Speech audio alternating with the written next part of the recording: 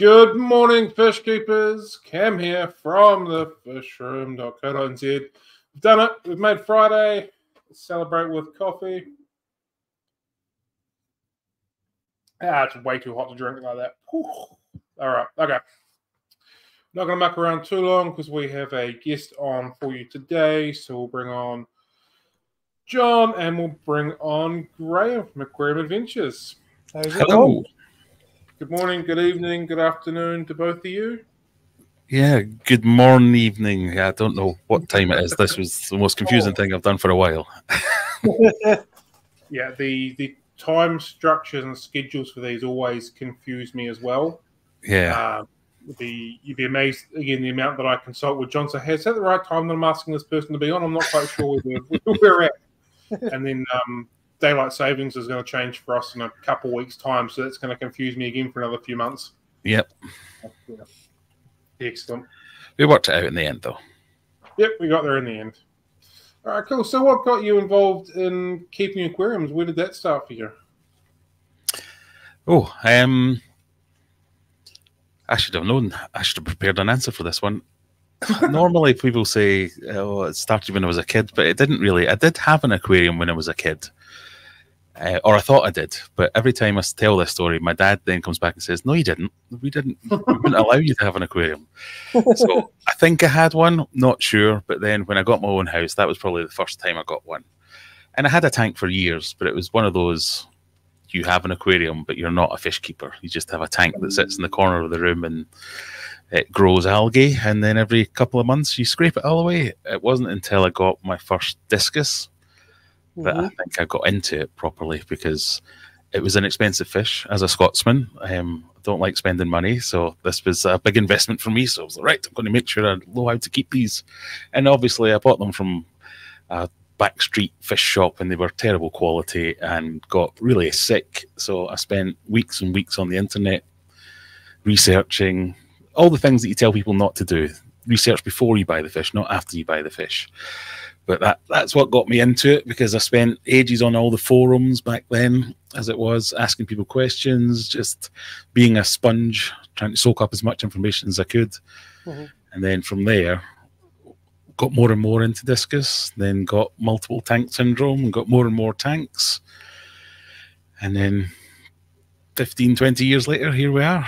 Got, a, Yeah. got my own fish room and everything Yeah. and make videos about fish now. It's just very, very weird. It's, it's, it's kind of weird when you think about it. People want to watch other people talking about about things I in know. glass box. It's just yeah.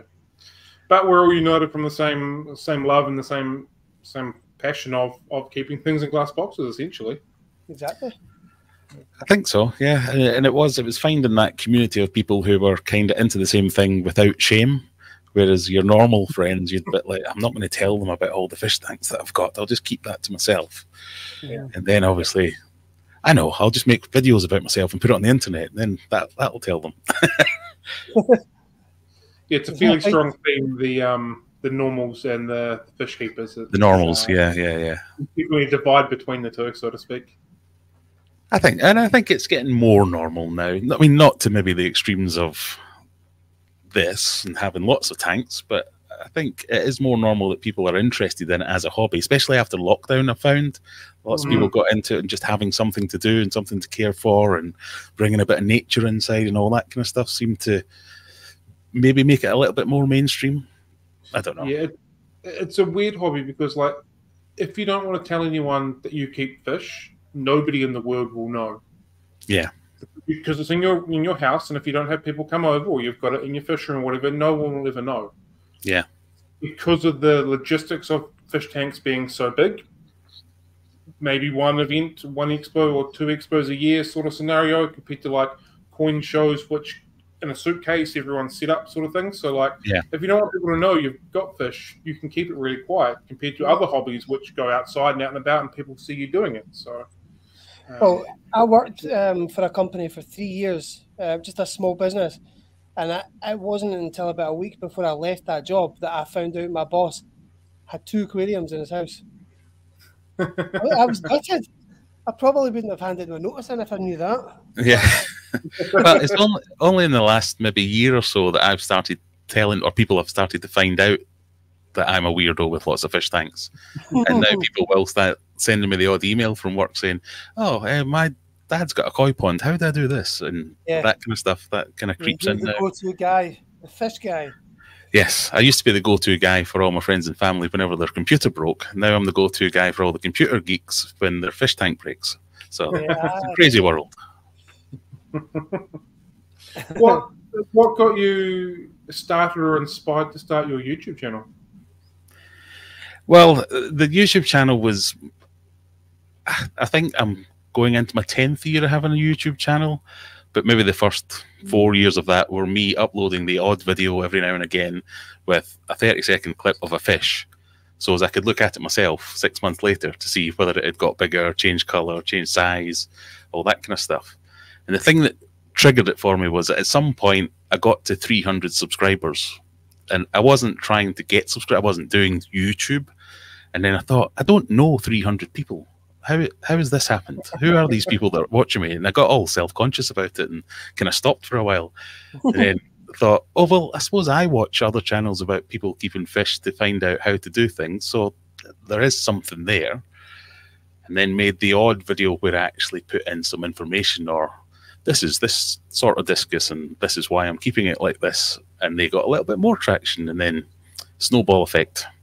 Just ended up getting bigger and bigger and bigger to yeah, but it was that 300 subscriber thing where I was like, I don't that that's that blows my mind. Um and then it became a hobby in and of itself. So Mhm. as much as fish keeping is a hobby, I, I'm into tech and gadgets and things like that anyway. So it's a bit of a hobby just to try and beat the algorithm every now and again, or learn what makes one video work and another video not work, and see if I can recreate that. But it's always it stopped at the hobby. It's not. I don't think it's ever going to be something that's more than a hobby for me. The YouTube stuff because it's. I would have to do things so differently to go really big, and majority of my videos are me doing something in my fish room and filming it rather than right let's come up with a plan of something that will go viral every now and again i'll try and think of something that might be a fun video but majority of it is man does thing to fish tank and films himself doing it and puts it on the internet and it kind of works i can find little spaces in the day or the week to make a video every now and again so i'll just keep doing it while i do The Um, thing is, I mean, you've got to do the work in the aquariums anyway, so why not stick a camera on a tripod and, and get on with it and then edit it? Yeah. on? it's like a self-fulfilling prophecy that I, I justify all the fish tanks by saying, well, I have to have things to film. And then I justify the film saying, well, I can't have all these fish tanks and not film them. So, you know, come back in 10 years and I'll have 300 fish tanks. Hey, How was sorry? How was the process for you for recording a video? Does, does that is it just all of a sudden how I'm about to do this? I'm going to set something up, or a little bit of thought the day before kind of scenario? Uh, a bit of both. So I will have ideas every now and again, and I, I do keep a book down here that when I go, oh, that would be fun, and I write it down, and then they're the kind of videos that get made six months later because I never find time to make the effort to make that video. And then there's the right, I need to clean out this sump. Yeah, I'll film it and see if I can make that interesting in some way. And they're the ones that take me a couple hours to do the job and to film it, and then maybe a couple hours to edit it and upload it. That can just be churned out almost. The other ones where oh, uh, the last video I did was I bought a load of crap off Temu and built a fish tank with it. That was something that took a bit of planning because I had to go and buy the stuff and wait for it to arrive and then get it all ready and set up. So I think that kind of works for me where I have a bit of both of those types. Um, so the process is I'm a very, very lazy man. So anything that takes too much time or too much effort is going to be difficult to convince me to do it regularly. So it has to be something that I can just kind of do on the side. Um, so, and it works so far. As long as it stays enjoyable and it doesn't become something that you depend on being successful. Yeah, because then Yeah. that, you got to get out of bed and make videos. Whereas right now it's it's, it's fun and it's hobby and everything works in harmony. So I think that that's a big part of it as well. And a lot of people have said to me that the, one of the things they like about the channel is that I'm not necessarily pushing it. I'm not going to be the most effervescent guy going, "Hey guys, welcome! Yeah, this is great."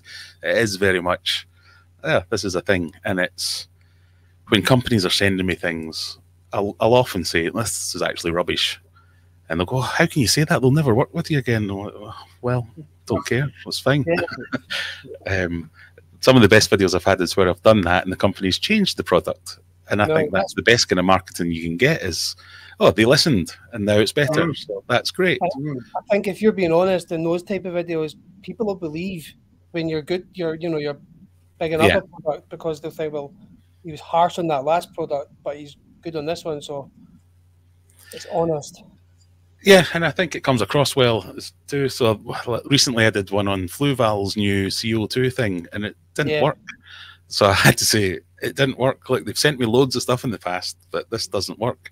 Mm-hmm. And they've come back and they've said, "Oh, yeah, you're right. We'll, we'll, fix that. Send it back. Let's have a look at it. We'll do some more research because they're they want to make sure they're not sending out rubbish to everyone else, and that's the kind I want to work with. Yeah when you do your slightly longer form videos, ones with a little bit more planning, mm. how many how many times have you deleted content in the process without realizing? Because that is a problem that I have. Is it a common occurring thing for you as well? There's a few categories of things that I will do. So, as well as being a very lazy man, I'm a very clumsy man. So, quite often in the process of out of the camera, and getting it into the computer, I'll drop it and stand on it, or drop it in a fish tank and kill it that way. or I will forget to plug in the microphone, so I'll have 20 minutes of me sat going. oh, I'm going to have to do a voiceover for this. I guess, hey, when you, you sit down to edit it after you've just done a, a full demonstration of a product, which you can only do the once, and then realize you've no sound yeah, the last one I did there, that unboxing all that stuff from Temu, uh, I'd accidentally flicked my camera into 4K mode, and the autofocus doesn't work on 4K, so just constantly going like this. Mm. So I had to do some artful editing and cut out all the bits where it was out by shooting oh, loads of extra bits of B-roll, and oh, yeah, the amount of times I not so much lose, but just record something that's truly terrible and I can't put it out. Um, yeah, it's quite high. but I have very low standards, so that works in my favor too. yeah, my, my frustration builds up when my phone tells me that I'm running out of storage, and I just bulk delete everything really quickly, and then oh wait, I needed those yeah. two clips, and they're gone forever. Yeah, no, it does happen more than I'd like it to. uh, discus, why, why why discus? Why have they become your your favorite fish? And where's your journey? What's your journey with them? Um, well, I think they're my favorite because they were the ones that actually got me into it. So, Fair.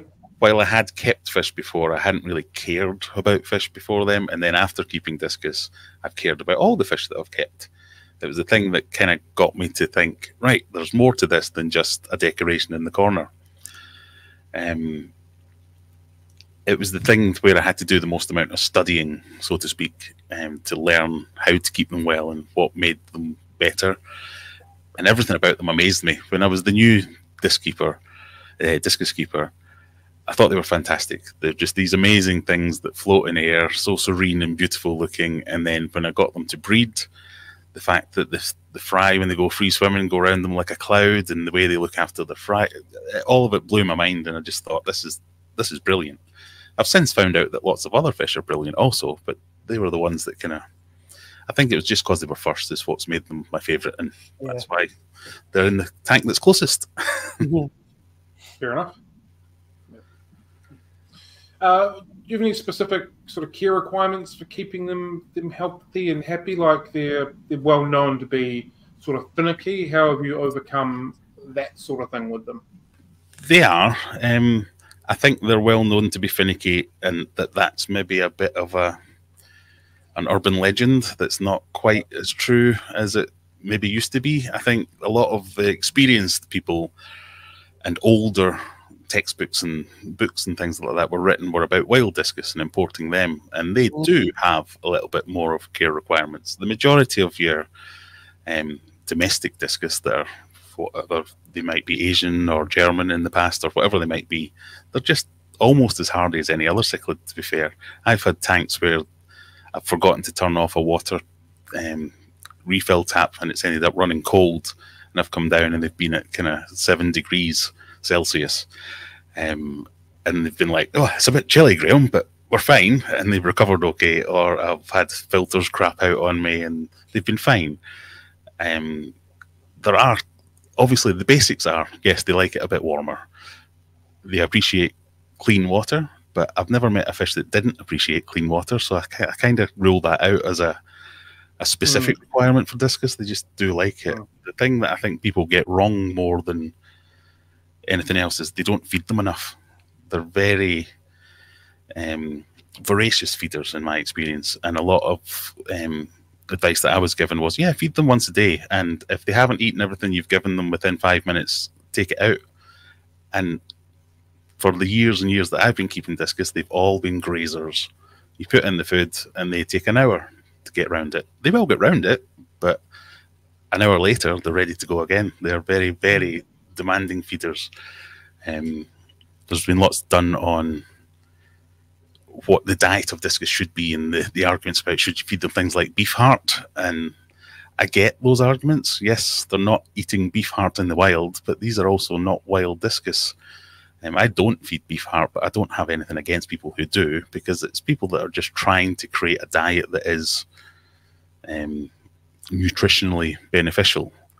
If you just fed them everything they found in the wild, that would be very hard to do. And whatever you're recreating with it, I think it's just a case of getting a good balance in there and making sure you're giving them something that works rather than anything else. So I would say all the stuff about 100% water changes twice a day, don't need that. Yes, keep their water clean, but 32 degrees all the time, don't need that. Yes, it needs to be a bit warmer. Um, other than that, go for it. They're cichlids at the end of the day. They're like any other cichlid that's going to have a Barney. They're going to have a, a fight with anything else that's in the tank, and they can put up with stick up for themselves just as good as any other fish. Mm-hmm. Have you found them any more prone to disease or illness than, than other fish or cichlids? Not, not necessarily. Um, when I have had bouts of disease, or, or the majority of the stuff that I see on the internet is people who have cross contamination issues where they get them from two different sources and there'll be a pathogen that lives in one source that doesn't live in the other. And then after many, many discussions, you find out they've mixed discus and that's why it's wiped out the tank rather than it being a husbandry care issue. Mm-hmm. But mm-hmm. yeah, as long as you're keeping the water clean, not necessarily these 100% water changes, I think they're quite hardy. And I know it's not a popular opinion, but mine have been. Um, I don't find them to be uh, worms. Maybe I don't know if they're any more prone than any other fish, but I've had that think, every now and again. Do you think when it comes to discus, there's that element of people that have kept them want to create this mystic mystery about them, much Definitely. like people that keep saltwater aquariums love to put out this impression that it's it's only for the the most skilled of elite fish keepers out there, and an amateur can't do it because it's too difficult. Yeah. Uh, the whole thing about you have to be an advanced fish keeper before you can keep discus. Uh, no, oh. well, it helps, but you, if you're going to use that argument, you should use it with every fish because every fish deserves some kind of level, basic level of care. Yeah, uh, yeah. I don't think discus are anymore, but the discus community, especially when I was getting started, it's a horrible place to be. Some of the discus groups on Facebook back in the day were 90% of the posts on there were people shouting at each other about something or other rather than trying to be a community or trying to help each other. Um, it's very much an elitist thing, I think, mm-hmm. going on there. Definitely. I think um, Silver Creek's just brought up a pretty good point. Um, you feel that the mess of the hype comes with the cost and it drives a psychological way to want to spend more on their care yeah. and all that kind of stuff. And that also kind of trickles down into the um, the belief that they are the harder and they're kind of top tier kind of scenario, and you've got to worm them in special treatment, all that kind of stuff. I think that builds into that hysteria as well at the same time, if that makes sense. Mm-hmm. Um, yeah, and I think there are certain people with a mindset of, look, I've got a tank of discus. How fancy am I? I'm better than all you. And Yes. they're the people that are putting out these messages. But yeah, they're not cheap. That is, you can't deny that. So if you are going to spend a lot of money on it, that does come with a bit of cachet, I guess. Of, oh, I'm quite proud of myself. I've got this tank of expensive fish. You also touched on a really key point that I think very much it's an urban legend of that they're not hardy from many years ago when they were predominantly wild caught fish Yeah, compared to the, the tank raised ones now. Um, and times have changed and genetics have gotten a little bit stronger in them, and they are a significantly stronger animal than what they were Yeah. many years ago, Yeah. where that sort of mythology came along from it. yeah, I would agree with that. Certainly, for anything I've seen recently, um, they're as hardy as any other. Uh, we've had another week question here from Rochelle. What's the minimum size tank you'd need in your in your opinion when it comes to keeping discus? Uh, I hate answering these questions because it's like putting a rule in there that doesn't really exist. But my preference is to keep them in a group. So a group of six is kind of my minimum. The more, the merrier. And a group of six, I would say something like 180 liters, 200 liters. But within that, there's so many caveats of what Mhm. else you're putting in the tank with them, but how much decor, plants, how much space is being taken up by other things, how much filtration you're going to have, all all these kind of things. But your general call it a rule of thumb, as much as I hate that phrase, but kind of 200 liters for a tank of six with maybe a few other fish and good filtration and good husbandry, that should be okay. So this is the first time I've heard anyone say keep them in a group of six. All right. Why why why group of six? as good a number as any other, I guess. Um, that's probably a hangover from some of the advice I was given in the past. Um, group because they do like to establish a pecking order, in my experience. Sure. And if you have three, that pecking order or establishing that pecking order can get out of control quite quickly. So six spreads that aggression a little bit more. Um, I don't think there's any other reason other than that. And why wouldn't you want six? Why would you only want three? Yeah, w- well aware that they have their own pecking order, and that process can be quite detrimental to the, the ones at the bottom of the Yeah. rung. Um, I was just curious on why why six was was said number for for that I don't, I don't think I really have a, a good explanation for why six. Um, it's just a number that's always stuck with me and it works. So why not? So if you want to go with five, go with five. Yeah. That's what I say. I'm- I'm very much against giving rules out to people because I should have probably prefaced all of this by saying I am not an expert in anything. Uh, I'm at best an enthusiastic amateur. And I'm more than happy to be told I'm wrong about most things, and I often am. Yeah, I um I pers- I know we're not talking about discus here, but the whole buy a group of tetras and a group of six, for example, I've always thought that that's just been a marketing ploy somewhere along the line to get someone to buy more than three, get them to buy six. Whereas tetras, for example, keep from six to a dozen, a dozen to 18, 18 to 30, completely changes the dynamics of the fish altogether. The more the more the merrier. And I'm suspecting it's probably the same with discus, but yeah, always thought that was a wee marketing ploy to get someone to open their wallet from three to three to double the purchase. It- may well be. I mean, I have had situations where I've had three. So if I've been quarantining some in one tank, trying to breed a lunch in another tank, and have had either pairs that weren't really pairs or threes and fours, and they have just been at each other's throats constantly. So whether it's six is the number or not, or it should be eight or ten or five or four, I don't know. But twos and threes don't really work unless it's a pair for me. Hmm. Hmm.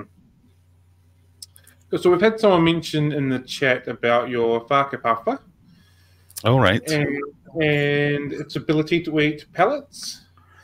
Yes, I'm very proud of myself for that one. uh, how did that come about? Because that can't be the most common claim to fame per se. Uh, no, so he is my second for half a puff. For half a easy for me to Fahaka puffer. Uh, and the last one that I had got to a fairly decent size, but something went wrong. Um, but it always was a pain to feed because I would having to find a variety of foods with everyone on the internet telling me they were the wrong ones, no matter what it was. Feed mussels, people will tell you not to feed mussels. Feed clams, or oh, you don't feed clams. Prawns, no, you can't have prawns. And then the other people will be telling you to go for the other things. The I wanted to get pellets because I have pellets and can get easy access to pellets, and I can see on the back of the packet how much nutrition I'm getting in with each pellet, and that'll work. And I wanted hard pellets because I wanted something that would keep their beaks worn down a little bit, so that I could use things like shellfish and clams and prawns and whatever as treats, rather than as a staple. And because it was quite hard to use them as a staple, not necessarily hard, but it's a faff if you have to defrost things before you can feed your fish. Whereas if you can just open a packet or a tub and go, there you go, mm-hmm. that's a bit easier. And I, I, wanted to do it just mainly for that reason rather than some kind of esoterical, oh, this is the only way you can be doing it. It was, again, my laziness driving me towards wanting to get something that worked and fit my routine. Well, it's obviously. How, how, did, yeah, how did that process go for you? How long did that take, and and where did that start? It, it, it took a while. Um, it was the same process I've used with lots of fish that I've tried to pellet train, where I got him when he was quite small, and he was being fed on chopped up mussel and bloodworm. So when I got him, continued to feed the chopped up worm and uh, chopped up muscle and bloodworm, and then add in a pellet at the same time as feeding every now and again until he accidentally bit it and realized it was food and then just slowly, and I think it took maybe two months before I could completely change, just slowly upping the, the volume of the pellet and lowering the bloodworms and the, the mussels until we got to something that we are happy with. I'm now trying to get him back onto things so as when I do put in a clam, he doesn't just stare at it for an hour and go, What's this thing in my tank? So, you know, it has there are pitfalls for this as well. um, what pellet are you feeding it? Or is it multiple now? Uh, a few different ones. Uh, the main one I have is the Hikari Cichlid Gold, I think it is, mm -hmm. the sinking one. Um, a lot of my fish feed that, and I can get it at volume, so that's kind of one of my staples. Again, I, I think a variation in diet is more important than product X is the best product. You should only feed this. So I'm, I'm not precious about the pellet. It's just what I have at hand and it works as well. So, yeah, I think the best fish food is a fish food that your fish will eat. Number one priority. Yeah. it doesn't matter how good it is, if your fish aren't going to eat it, you're exactly. throwing money down the drain straight away. Yeah, I mean, I will get picky about things like if if something disintegrates really quickly or clouds up my tank or just makes a mess, then I'll probably steer away from them in the long term. But other than that, as long as it's got some nutritional value, isn't actually hurting them, I'm, I'm mm. going for it. Yeah, very cool. Um, once accidentally dropped some Repashy into a tank full of pea puffers, and I watched them pick at it. From that moment onwards, I was like, cool, I can do this. I've never had it once happen again. You've inspired me to try again. I think I just, the, the key for me, and I've done it with lots of fish, is uh, repetition. So once they know it's feeding time. So often when I get a new fish, they, they're scared of me for a while. Mm. So I, I, try not to change anything too quickly. And it's more about a case of going, right, when you see this big lump coming up to your tank, I'm doing nice things. I'm giving you food. Here you go. And then just slowly starting to drop in the things I actually want them to have. Yep. Yeah. Yeah. Sure. Uh, what are some of the challenges you've had while having the, the puffer or puffers? Um, are, are they a, a a tricky fish to keep, or are they fairly simple? Or how how's that gone about as far as care goes? They have been fairly simple. I think I I mean I have killed a few, so I should I should probably qualify that before I give, start giving advice. I would never be one to give advice on how to keep things, but I've had a Fahaka puffer that I had for years. Loved that fish. I'm a fan of most puffers. Um, I think they're a cool fish to have. No real problems with them until I had a problem and he died. Mm. Same with uh, I had big plans to build a big, massive fish tank, which I've now done. But I bought a Mbu puffer, and he died. Um, couldn't explain it. Talked to loads and loads of people about what could possibly have been going on, but no, we couldn't explain it. Didn't even get to any kind of size. Mm. The biggest challenge I've had with them is you kind of need to dedicate a fairly large tank to them because they're going to get big and they're going to want a lot of space. So when you want to keep lots of fish, it's quite the commitment to say, right, I'm going to keep this five foot tank for nothing other than this thing that's this size at the moment, but is going to grow to this size. Yeah. Um, that's probably the biggest challenge. And speaking to folk that work in fish shops and things, that's what they get a lot of people bringing them in going, I bought this when it was only three inches long, and now look at the size of it. I've not got a big enough tank for this. You have it. yeah. That's definitely something I personally struggle with is one big fish in a big tank. I want to put lots of little fish in a big tank. Yeah. Or medium, lots of medium-sized fish in a big tank. So like I can, when I see people that have got bigger individual fish in big tanks, I, I can understand the discipline that goes into not want to go. Uh, I want to change this. Oh, maybe I could have gone with something else as well. So. Yeah, there's also definitely a case of buyer's remorse when you say, right, I am going to put that five foot fish tank and that's going to be for the Fahaka. And then someone says, Oh, do you want this group of X yep. and Y? And like, Oh, only I. It's always about, always about three weeks later as well. Yeah. Why didn't you talk to me three weeks ago? We, there's a totally different conversation. Yeah, yeah. yeah. But yeah, I do like to have the the mix. So obviously, I've got a community tank with medium fish. I've got individual fish in big tanks. I've got a big tank with lots of big fish, and yeah. I, the next thing I probably do will be a big tank with lots of little fish. So I'm not a monster fish guy or a nano tank guy. I'm a bit of everything guy. I think. An equal opportunist fish keeper, as one of our previous guests, one of our previous guests coined. I'll take that moniker as well. Yeah, that sounds good. Yeah, mm-hmm. yeah I, I, thought it was fantastic when you first said it. yeah. Uh, have you much have much experience with pea puffers? Yeah, I have kept them over the years. I've never uh, managed to keep them for a long time. Um, I've kept them and they have bred them before. No, I have kept them while they have produced babies. I, I was very much not involved in the process at all. It just kind of happened. Um, but yeah, I do like them. I just don't. They're not on the radar for the moment, though. Mm-hmm. Any thoughts on keeping them in, in community tanks, as Rochelle's just asked? Um, well, lots of people will say anything with flowing fins or dangly bits, a pea puffer will see that as a potential meal. Um, I kept them with things like otocinclus and kuhli loaches and even shrimp. If you have a nice densely planted tank, a population of shrimp seems to do quite well. They will pick off the odd shrimplet, but that always worked fairly well with me. But I, I, I have no experience of trying them with the other things because why risk it? so I, am not an expert. I don't know. I've had success with them with um, Rasboras. All right. And Ember Tetras as well.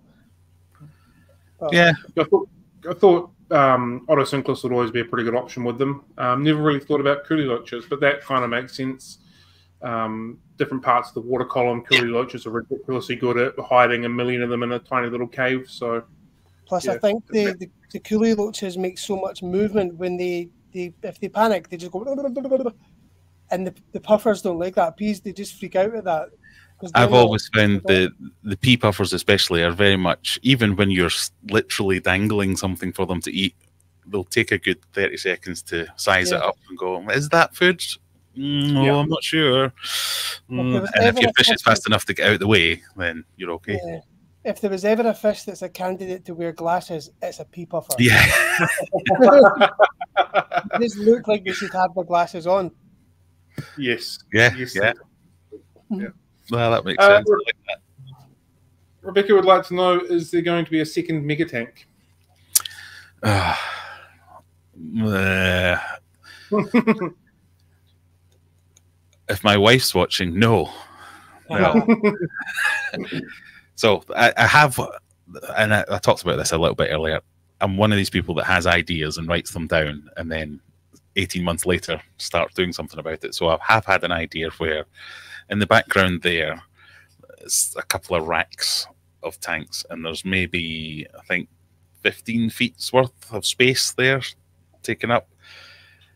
And I have an idea to say, well, once I don't have all these tanks doing things for me, that might be Mega Tank 2. And rather being a, a wide tank, it'll just be a very, very long tank. So it might be a 12 foot by 2 foot by 2 foot rather than 8 foot by 4 foot by 4 foot or whatever. Yeah. And that was the idea I was talking about having a really big tank with really small fish and just having lots of tiny fish in an enormous tank. Because I just think that looks ridiculously good. It would. Certainly does. Yep. Yeah. My only reticence is I've kind of maxed out the space I'm allowed in the garage. So this is my garage. Um, and I've turned it into the fish room. So I've taken all of it. And if I do one big tank, that's kind of go, doing away with 10 smaller tanks that I can do things with. Yeah. So I'm trying to think of can I do one mega tank with a row of tanks above it and build that in somehow, or can I figure out a different way to convince the wife to let me extend that way and take up some more yeah. space that way? We'll see. I was going to ask, have you thought about extending the garage to extending the room you've got? Yes, but yeah. hell will freeze over before that happens in this house. Dig down. Dig down. oh, uh, yeah. You never know. Now, as much um, as my wife tolerates my hobby and is quite happy to let me enjoy it, when it gets to that kind of thing of, oh, you know, we've got the double garage and I've turned it into a fish room. How about a quadruple garage? That's never going to go down well. No. Tolerate is a very good word there, I think. Tolerate. Yeah. Oh, that's that, it's unfair. She's not anti fish keeping or anything like that. And she, well, she does tolerate it. She's happy for me to be happy enjoying my hobby. Her main thing is, like any of the other things, when the kids were younger or wanted pets and things, let's get a dog, let's get a cat, let's get a lizard, let's get whatever. She would always end up having to be involved in cleaning said thing out. Whereas with all the fish tanks, I do everything and she doesn't have to do anything. So she's more than happy to let me get on with it. Yeah. Yeah, fair. Until it comes to extending buildings and things, and then she's less happy. Do you want to walk us through the process of setting up your solar powered barrel pond and how that came about? Uh, oh, I've done lots of solar powered things now with it. It, it came about with in my old house. Um, I had a little tiny front yard type thing that the wife wanted a water feature in it, and as soon as those words left her mouth, I was like, "Ah, so you mean a pond?" and it was more to do with convincing her that I didn't need to power it, and it wasn't about over overpowering it with, oh, you need a filter box here, and we need an electric junction box there, and this, that, and the other.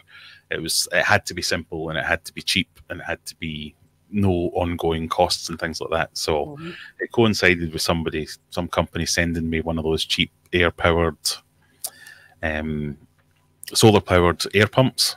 So I thought, wow. ah, well, if, if I can move air, I can move water. So that'll provide some level of filtration and I tried that, and it was fine. And then it was just refining that over the the months and years to make it a little bit better and a little bit more powerful, and li- just kept going at it. And to the point where in my new house, I've got a big pond, which is solar powered as well, um, and that's that's kind of peak solar power now, so that doesn't cost me any money to run, but it's a little bit more elaborate than the stick a solar panel in the ground and one wire going off to an air pump and away you go. But most of my projects are necessity. They are, yes, you can do that, but so once it's about finding how to get around the buts. Understand that. Um, other than the obvious power saving costs with solar power, what are some of the other benefits that you've noticed with with running solar power? Is there other oh, benefits? I don't know. Um, I I'm almost 100% coming at it from a cost perspective. It's that's one of the things that if there is any friction in my marriage, it's often about how much does your fish room cost to run. Mm-hmm. So anything I can do to offset that by saying, "Oh, not that," because we're running it off the solar panels now. That's yeah. that's where it goes. Yeah. It's yeah. it's good that it kind of. I tried to make the argument once, and I don't even think I believe this, but it's good that it's coming from the point of view of I don't need to remember to set timers and things to minimize functions. So if it's sunny, it'll come on. If it's dark, it'll go off, and I don't need to think about it. So, being in Scotland, is that an issue? Um, well, I, it is an issue. I, am in Sheffield, so I know I've got the Scottish oh, accent, but um, it's, it's not much sunnier down here, to be fair. um, so it's the same kind of problems. Um, it it is. So I had my first round at doing this pond was with a, a battery. So the solar panel goes into the transformer, then goes into the battery, and the battery runs the pump in the pond, and the solar panel tops up the battery. So I, I, tried to size it all to make sure that I could get, if I got a decent day's worth of sun, it would run for a couple of days. So as then if I had a rainy day or whatever, I'd still have a little bit there. I way underestimated how much battery power I needed, how much I needed to store. Um, so it is a problem, but problems are there to be solved. Problems are opportunities. So just get a bigger battery. I like that option. uh, hello, we just had a question from Helen. Oh, Sorry. Uh, I'll do it. There we go. Cool. Uh, how long do you, your solar units last for? Well, so far, uh, a year, because I've only been running it a year. so I can't testify for any longer than that. The batteries generally are the bit that wears out, um, and they have, it'll be in the specs of whatever battery you're looking for. They have so many cycles that they're rated for, whether it's charge and decharge 7,000 times or whatever it might be. And obviously, the more times it does that, the more expensive it is. The solar panels, in my experience, don't really wear out. It's more that newer ones that are more efficient and more um, generate more energy come out. So you might swap, want to swap them out for that rather than they stop working. They seem to be certainly in the last few years um, I, I, only really got into it when people started putting them on their house to power their houses and yeah. look at it from that point of view. And it kind of translates down to the, the hobby size when you get the smaller ones as well. Um, so hopefully it will last a long time. There's no real moving parts, and it's just the battery that's going to wear out. Cool. Uh, we had a comment from uh, the viewers uh, about 15 or so minutes ago. We'll just get to it now. Uh, I definitely noticed it straight away. Has anyone noticed that you haven't got a beer in your hand? I, I noticed. I was a little bit surprised personally as well. so that's a Friday treat for me. Ah. Um, so for those that don't know, I do my, my own live stream on a Friday night, and that's my end of week ha- excuse to have a beer. it started off as a beer review thing where I used to drink um, regular beers, and people kept saying, "Oh, that's rubbish. Don't drink that. You should try these craft beers. And I was always a bit like, yeah, the craft beer. No, I don't like it. And now I'm very much like, oh, this is delicious. I'll have more of this, please. Uh, and it's just turned into my Friday night thing. So sorry, Brian. I'm, I'm on the Pepsi Max tonight. People will start to speak if I have a beer on every single live stream I turn up. uh, no, no vodka in it. No vodka in it. Just back to the, the solar stuff. Uh, we get more constant sun here. So Helen's in, in New Zealand as well. She's five or so hours south from where I am. Uh, and so we, we get more constant sun here, even in the winter. Yeah. Would a battery be necessary? So again, I'll preface this by saying I'm not an expert in these things, but from the research I've done, if you were to go for a DC pump that was or a DC power plant that was doing whatever you were doing to run the thing, then you don't need a battery. Um, I think all the solar panels that you get these days take the power from the sun and transmit that as DC, and then you have to convert that to AC to get your equipment to work. But there are DC pumps that would, so that would just be solar panel straight to pump. If there's sun, it will run. If there isn't, it won't, and that would be fine. That would work quite well. Um, the battery, if nothing else, is just turning that DC into AC through an inverter, and then the battery is the thing that actually holds that power and puts it out. So you could have a really small battery if you get lots of sun, and it would just constantly be getting topped up. That would probably work quite well. Cool. Uh, how do you approach uh, breeding projects in your in your wee fish room? There, does it occur? Do they happen? Do you plan for them? Um, I go through cycles of the hobby of okay, I'm get, I'm on a DIY thing, so I'm going to try and build things and make things, and then other times I'm like, okay, I'm going to try and breed things. Most of my successes I've had very little to do with it, but things do breed, and that's generally what spurs me into doing it. So I've recently been trying to breed the discus and get them going again, with limited success. Pardon me. Um, but most of it is like I say, I'm not an expert on these things. I, am I'm, I'm looking up how to breed Corydoras the same as Joe Blogs, who's just got the first tank of Corydoras. So I'm trying the things out every now and again to see whether they work. I've recently done a project where I wanted to 3D print uh, an egg trap for some zebra danios, just because I thought that was a cool little idea of, well, yeah, they lay the eggs there, the, that then sucks them up into a breeder box, and that, that works. So yeah, that that's quite fun, and I enjoy that side of things. But I'm also that same project. I'm also going. I don't want ten thousand zebra danios, so I'm going to stop doing that now. Time to do it. And, uh, oh, now what do I do with all these fish comes along yes. afterward. Yeah, I remember years ago. Again, it's one of those things where breeding fishes are like, "Wow, this is amazing! This is life happening right in front of my eyes." And I got into one of those situations where I had, "Wow." I've got 10,000 Kribensis. What am I going to do with all these Kribensis? Yeah, so I'm a bit reticent unless I have a plan to deliberately breed things.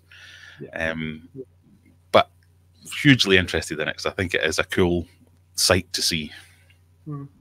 Yeah, it's fairly hard to get rid of five Kribensis, let alone 10,000 of them. Tell me about it, yes. Do you have any uh, future breeding projects or plans happening at the moment, or are you working towards anything? Not really. Like I say, I'm dabbling in obviously more more to do with the technology side of things of with the Danios and stuff because you just kind of have to have water to breed Danios. Um, mm-hmm. Same with the guppies. I like to. I've messed around with them trying to see if I could like get strains to lock in and all that kind of stuff. But I don't have any real proper breeding projects going on at the moment. One of the ideas I was having with my big 10 foot, 12 foot tank here would be lots of tiny fish and maybe lots of discus. But I can't afford to go out and buy lots of discus, so I would have to breed them. So that might be a future project. Yeah. yeah. Um, how do you manage your water quality in in your fish room? Is it all automated or you're on manual bucket and hose sort of scenario? Yeah, it's kind of in between the two.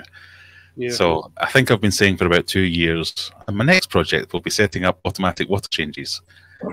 I've never quite got around to it. So my mega tank is my big tank. It's on an automatic water change, but all the other ones are all manual.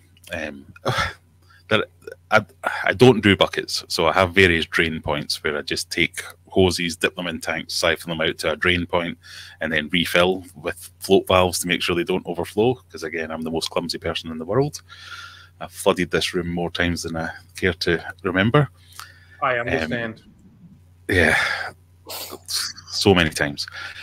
Uh, which is why I'm in the garage. I'm not allowed to have fish tanks upstairs anymore. Um, but majority of them are like I say manualish. I go around and I do my tanks. This where I'm sat right now is where I do my day job. So I'll quite often I'll be doing a bit of work and go on a call if it's a meeting or something like that, and I'll go and do one tank. So as I can do that in the background, and that's just happening. And then the next meeting, I'll go away and I'll do another tank, and uh, just I have a churn. I just work my way through each week, yeah. going round in circles, basically. Um, just out of curiosity, what do you do for a day job?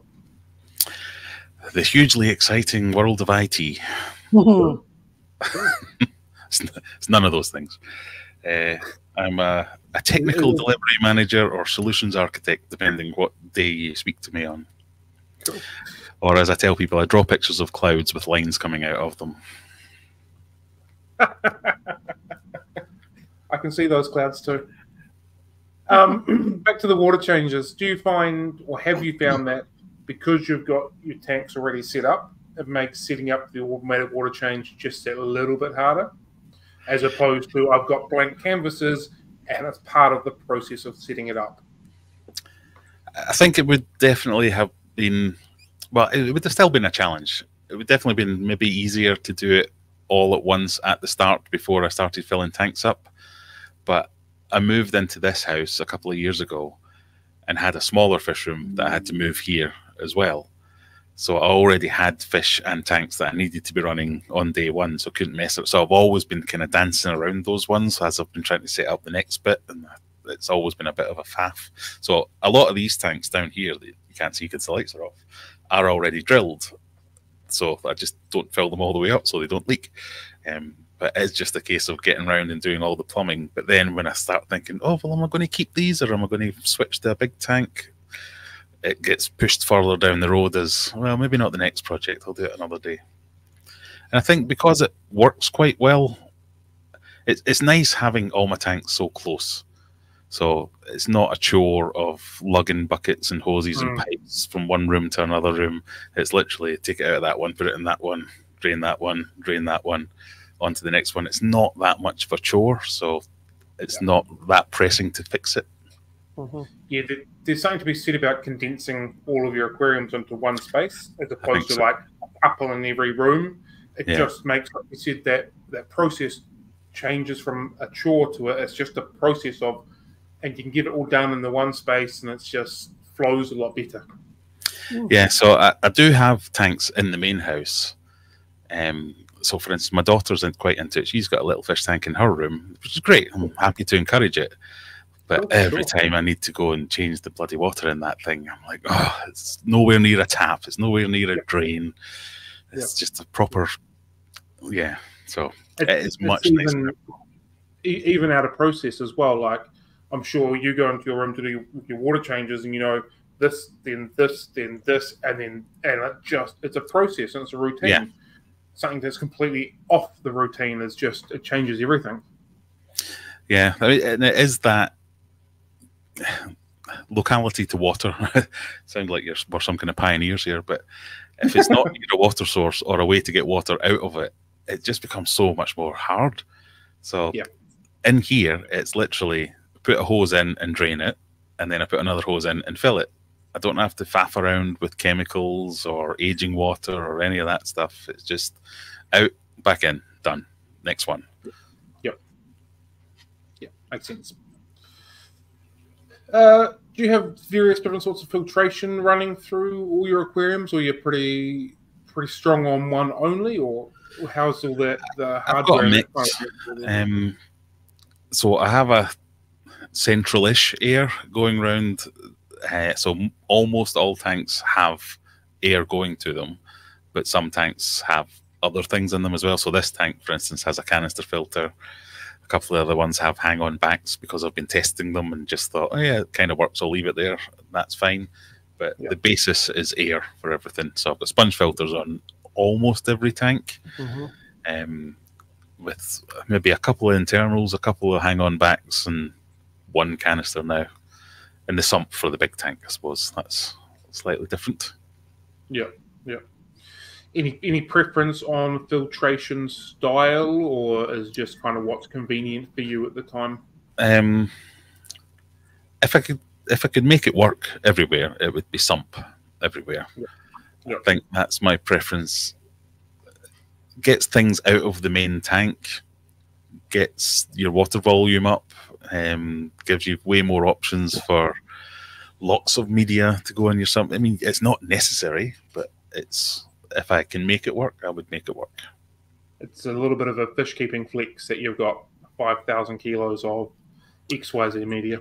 Yeah, and, and it does prove handy every now and again. So if I do want to set up a tank, I can grab a bag of media out of the sump from one tank and say, that's good to go. That tank's ready. Um, yep. The same with, I have some tanks that have multiple air uh, sponge filters in them because I know I can then take that out and use that to instantly start another tank without having to worry about it. So, mm. preference would be sump, then probably sponge filters, just because there's simplicity. There's not that much that can go wrong with them. They don't cost a lot. They don't cost a lot to run. They're not the nicest to look at, I suppose, might be the only drawback. Um, yeah. I was a big fan of canister filters for a long time. I was a big fan of the Fluval range, um, but I'm not precious about them. I don't Yeah. think they're any better than any other ones. Um, And canisters are fine if that's what works. Yeah, I think uh, regardless of which filtration method you choose to use, they all have their ups, they all have their downs, and they all have their pitfalls. Like there's there's Yeah. no perfect system, much like there's no perfect fish food. Whatever works for you the best is probably the one that you should be happy with and, and, and roll with that. Yeah, so this tank here is drilled for a sump, but doesn't have a sump on it. It has a canister filter on it because somebody gave me a canister filter. So that's the only reason that's the best one for that tank. Yeah, yeah. I mean, I, I, I personally, I really don't like sponge filters, but it's pretty hard to run a full fish room of a hundred or so tanks without them. They just it just makes sense to roll down that that route when it comes to that, but it's just the one that works the best for the situation. Yeah, I have a bit of a love hate relationship with sponges. Uh, you're probably Yeah. the same reasons where you think they're great and they're doing the things, and then as soon as you touch them, they go poof and explode. Yeah. You're like, oh God's sake! Yeah. Yeah. That's one of the reasons Yeah, I prefer canisters because internal filters, even certain hang on backs, when you restart them after Making a mess of everything. it's that boof effect that spoils all your hard work. Yeah, there's a lot to be said for like your canister filters that you can just shut off the valves, take it away somewhere else, and clean it and plug it back in again. Or the Oase ones where you just pull out the pre-filter. Yeah. So much easier. Mm. But yeah, convenience. Definitely. As a Scotsman living in Yorkshire, who I'm reliably told are the two tightest people in the universe, Yeah. free is always what gets me going. Yeah. oh yeah, hear that. favorite word in the world. Um, have you got any advice to anyone that's looking at or considering setting up a fish room if you were to start again? How how would you build that from ground up? Uh, yeah, don't.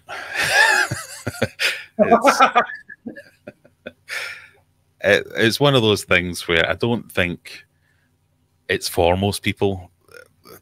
Why? Why do you need a fish room? There's there's got to be something wrong with you if you need a fish room. If you really, really want a fish room, then that that's why you should have a fish room. Um, the amount of people over the years I've seen come and go, whether they be YouTube personalities or just people that you see in the hobby, you can almost set an alarm to it where it's I've got a fish room, I'm setting up a fish room, advice to build the fish room. 18 months later, I'm breaking down my fish room. Who wants to buy all these tanks? yeah. Can I get rid of it again? So it's not for the faint hearted. It's a big commitment. You're taking up a big space with lots of things. It's just weird for most people. You don't need that. If, if you're really into breeding, it might work. If you're really into seeing lots of different species and having to keep them all at once and you can't delay your gratification like what I can't, then it might be for you. But for the normal person, I just don't think it's right. But I would start up by planning what is the worst that can happen. So disaster planning is step one for me. If everything bursts and leaks, where's the water going to go? Mhm. Because even a small fish room has a lot of water in it, and water can damage things very quickly, as I have come to learn over my years of ineptitude.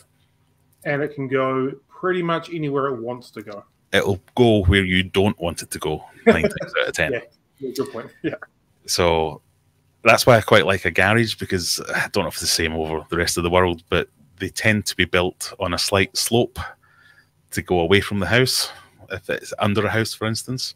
So I know that if anything leaks in here, as it often does, it's just going to go straight out there, and that's fine. I'm happy with that. Once I've sorted out the disaster planning, it's more about space and space for equipment. So where's my stuff going to go? Uh, the tanks are usually one of the last things to go. So I want to know where is my drain point? Where is my water point? Where is my electric points? And then once I know all that and get all that in place, it's then it's right. Am I having racks of tanks? Am I building my own racks? Am I having individual big tanks, small tanks, whatever? That's the fun bit, really. Once you've got all the basics sorted, I think the rest of it kind of falls into place. Mhm. Yeah. But yeah, just but just don't do it. unless you unless you really really want to. It's definitely not something that I could achieve. I mean, the first time I walked into a fish room, uh, it was Julian Dignall's, the Planet Catfish. Um, oh right, yeah, yeah. I walked into his fish room and the noise was deafening because it's, it's long and narrow, um, and it was unbelievable. I mean, you've been in lots of old fish rooms and things like that, like fish shops. You've got the bubbles and everything, but this just blew me away that you could have this in his house. And I walked out thinking, I want that. But then I walked into somebody's shed and I seen the less refined version of a fish room. And it, that was probably going to be my reality. And then that was my dream crushed at that point because I thought, I'm never going to be able to keep it the way I want it. So I'm not even going to attempt it. And, and one of the things I noticed as well, as someone who has a fish room, it's always in a complete state of disarray. So any little bit of a project or thing that I want to do, it seems like I turn my back for two seconds and gremlins come out and just go, ha, I'm going to throw everything everywhere. And I'm like, where did this come from? Can't stand in it. But the noise is definitely something that's, I, I operated for years thinking that air pumps only came in XX, XXL with the L standing for loud. it wasn't until I got one of these, one that I'm running now is practically silent in comparison, but I had years of just a, a drone of eh, and I thought, I guess I have to put up with this. Um, but yeah, improvements can be made in that kind of thing. The biggest issue I've got at the moment is I'm also using this as my office, which during the winter is great because I'm heating this room, so it's nice and warm in here. But it it's also always 25 degrees in here, and I'm wearing a jumper now. Going, this was a mistake. it's, it's way too hot in here to be wearing a jumper, so I'm perpetually a bit like, whew, it's a bit Oh, warm in here. This is bright red. And, Yes. and that must be why the Friday beer comes into play. Yes. Yeah. It does help. I have a big fridge there as well with lots of cold drinks in it. and and now that I've mentioned that, I'm going to have to take my jumper off. Yeah, Go- go go. for. But Um, yeah, it's fun having a fish room, I must say. But it's uh, a bit of a commitment, I guess. Is Yeah. So you're you're heating your ear, not heating your aquariums. Is what I'm Yeah. hearing from that. Yeah, yeah. So I do have heaters in some aquariums just as a backup, and have heaters in the ones I want to be a bit warmer than 25, like the discus tank. I want that to be about 28. Yeah. So I have a heater in that one, but the rest of them are just running off the heat of the room. Cool. Um, I very much agree with you when you were basically saying the gremlins, gremlins come out. And it doesn't matter how often you you tidy your fish room and you say to yourself, "I'm never going to let this happen again." Yeah. Three days later, it's happened again, and you're tidying up again, and go, "I'm never going to do this again. I'm going to put stuff back." Doesn't matter what the intentions are. It just they, it just happens like that. every now and again I'll go around and I'll like I'll make a plan and I'll say I'm going to put one of those big metal hooks up there and I can hang things on that hook. And it's full. I've hung many things on the hook, but there's still crap all over the floor. And I'm like, where did this all come from? This do- Yeah. doesn't make any sense. Okay, Yeah, I went I went upstairs earlier to sort dinner out for the kids and came back in here for this and looked at the floor and went, Right, someone's messing with me. Someone's come down here and tossed everything all over the floor. It just uh, gremlins. Yeah. It's because you've got shiny things to distract yourself with every time. So, like, you just put a container of food down, and I'm Yeah. going to put it back where it lives. But oh, look, wow, what are they doing? And then you hand and you just walk away from it. Yeah, I've got like um, algae scrapers. I think I must own about 300 of them, but I can only ever find one at a time. And then I lose that immediately. Yeah. Um, all that kind of stuff. It just, it's in my nature to be messy as well, as I'm sure my wife would tell you if she was here, but it doesn't help when it's got all the gremlins helping you be messy. Um, how do you balance the aesthetics and functioning aspects of your aquarium setups, and how much of of your YouTube stuff comes into play with with that as well? Um, I have a bit of a mix, and I think I'm in the middle of a transition period of going from having more bare tanks to more feature tanks. And while it will help YouTube, I guess, because it'll be content where I can say I'm changing this tank and I'm building this tank and I'm aquascaping that tank and Mhm. all that kind of stuff. It's more because I think I'm changing from I spend a lot of time in here. I spend every day in here working. When I turn around, I don't want to look at a bare tank. I've decided I want to look at something a bit nicer than that. Um, so while I, and it was this tank that did it for me. I used to have my flower horn in here where it was a an empty tank, but a really really bright fish, Mhm. and I was fine with that.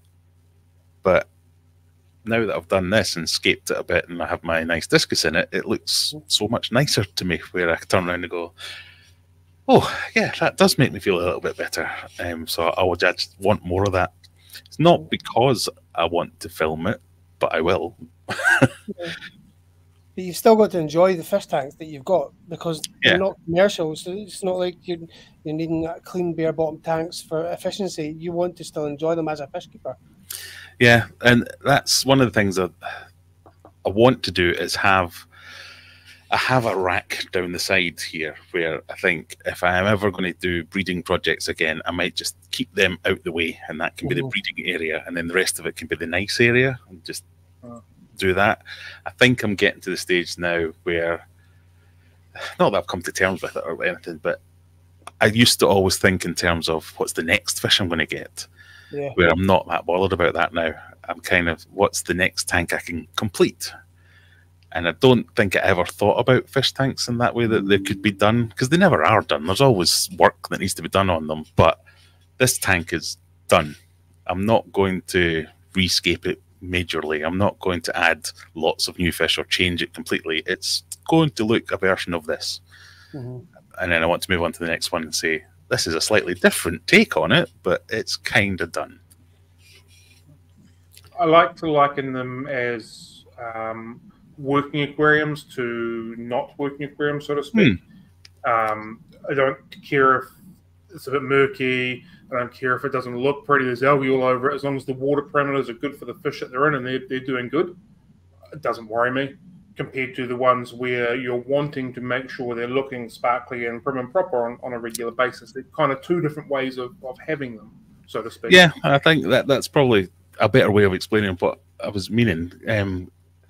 Because there are tanks that do jobs. They are Yeah. whether it's quarantine tanks, whether it's breeding tanks, or you're. It's not there to be pretty. It's there to do a thing. And then I've got the ones that is there to be pretty, and I want them. That's their job to be pretty and Yeah. make me relax. Well, I'll tell you a story. I, I stopped off um, in a pets at home today to pick up some things for my daughter's gecko. And they've recently changed all their aquarium setups. So now instead of having that black gravel, which was fine, what they've now got is bare bottom tanks, but with the image of gravel. So it's like oh, a- like an aquarium back, you know, the backdrop, but on the base. So it looks like gravel, but it's not. And what, what makes it really suck is they've went with really rubbish rainbow gravel. oh, his lovely. Clown puke. Yeah, It's funny, funny you say that. I was just about to say I really don't care what the tank looks like for a working aquarium as long as it doesn't have rainbow gravel on it. I'm okay. I mean it's not like multicolored, Yeah. but it's blue and red, and it's, it's just I don't get it. Yeah, I mean, I get the fact that in a shop, for instance, Hmm. it's an extra job if your tank has a substrate to clean that tank, especially when you're trying to cycle through lots of deliveries and things like that. Yeah, A bare bottom tank can be stripped, cleaned, and put repurposed fairly quickly. Where one that's scaped nicely and has a substrate and all that is a little bit more of a challenge. So I kind of get that, but the clown flute gravel, ugh, I know. why would you go for that? Um, I just just like to caveat that a little bit. If it's your aquarium in your house and you like the rainbow gravel, then that's all good. As long as you're enjoying it, that's the main thing. It's just definitely not for me, and clearly not for you guys either. Disclaimer. Yeah. I'd like to con- counter that caveat by saying, no, you're wrong. Change it. just straight wrong. It should be banned. It, it broke my heart to uh, when I said my daughter has a, a fish tank. We went round to one of the fish shops, and she was looking at the gravel, and there was this luminous neon pink gravel, and she's going, "Dad, Dad, Dad," and I'm going, "Can't hear you." but she now has luminous pink gravel in the bottom of her aquarium. Doesn't, doesn't Like you say, happy. if she's happy, then I'm Yeah. happy. What Yeah, fish and, has she and if got? Sorry, What kind of fish- What kind of fish does she have? uh, just some guppies at the moment. And if clown gravel is the way that she gets into the hobby for life, then who are we to judge on that? Yeah. So to speak. Exactly. Uh, So Gateway gravel. gateway gravel. It's a gateway gravel. Gateway gravel. Well, there is light at the end of the tunnel because she, she came down to see the last tank that I built. It's only a little tiny nano tank, but had live plants in it and stuff like that. And she came down and went, "Oh, that's nice, Dad." I was like, "Yes, got her." yeah. Uh, we've had another question from the chat a little bit earlier on. Uh, because you mentioned flower horn it's a, a little while ago. So, big fish versus small fish, what do you find to be the best?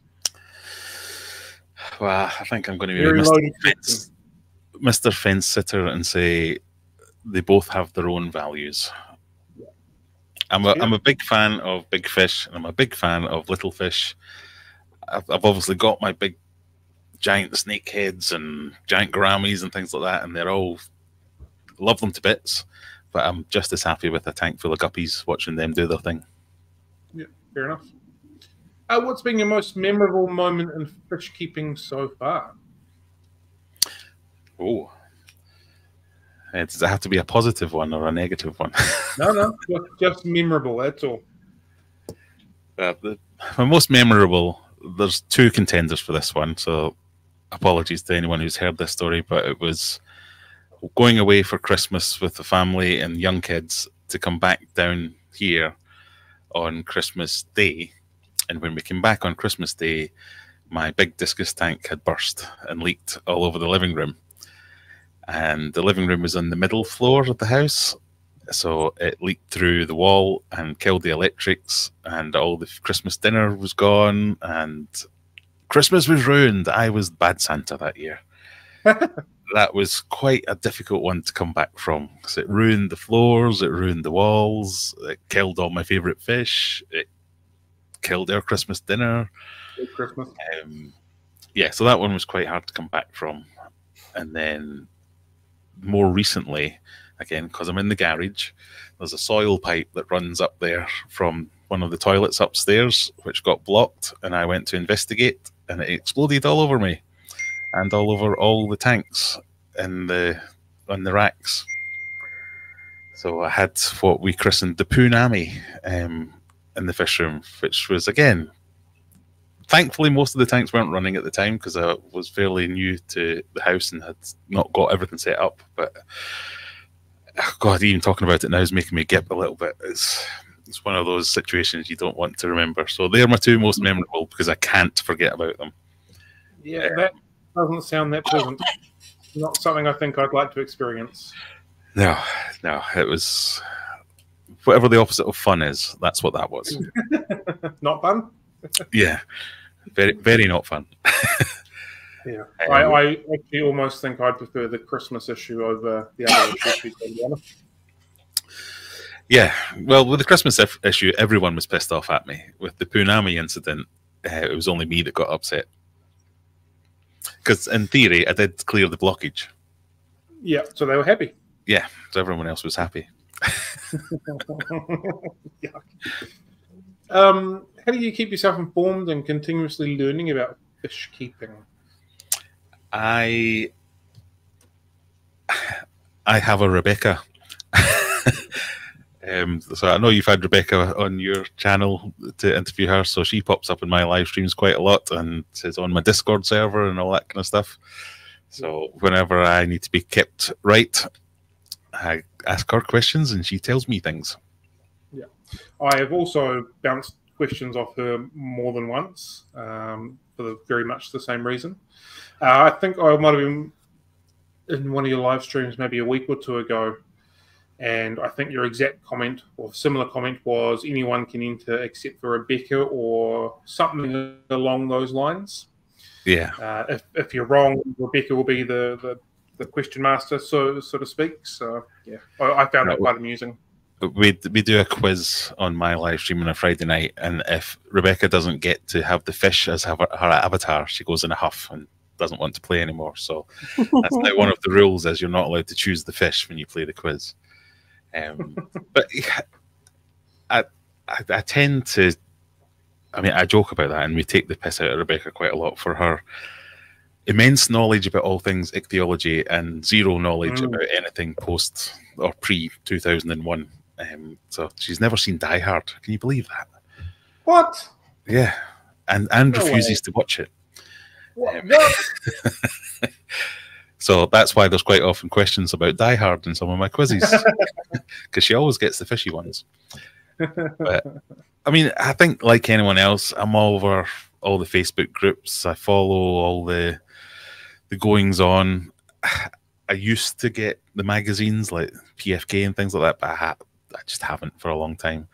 I tend to just see what's going on, and uh, it's a bit of a privilege to have an audience because if I say something it really, so that's kind of how I, I learn a lot of things is by saying something that's a mistake and being corrected. Um, what was the, the recent one? Oh, it was about Corydoras and how they, they don't need soft substrate in a fish tank. It's all, all to do with that aquarium co-op video years ago where he went and he found some on some sharp substrate.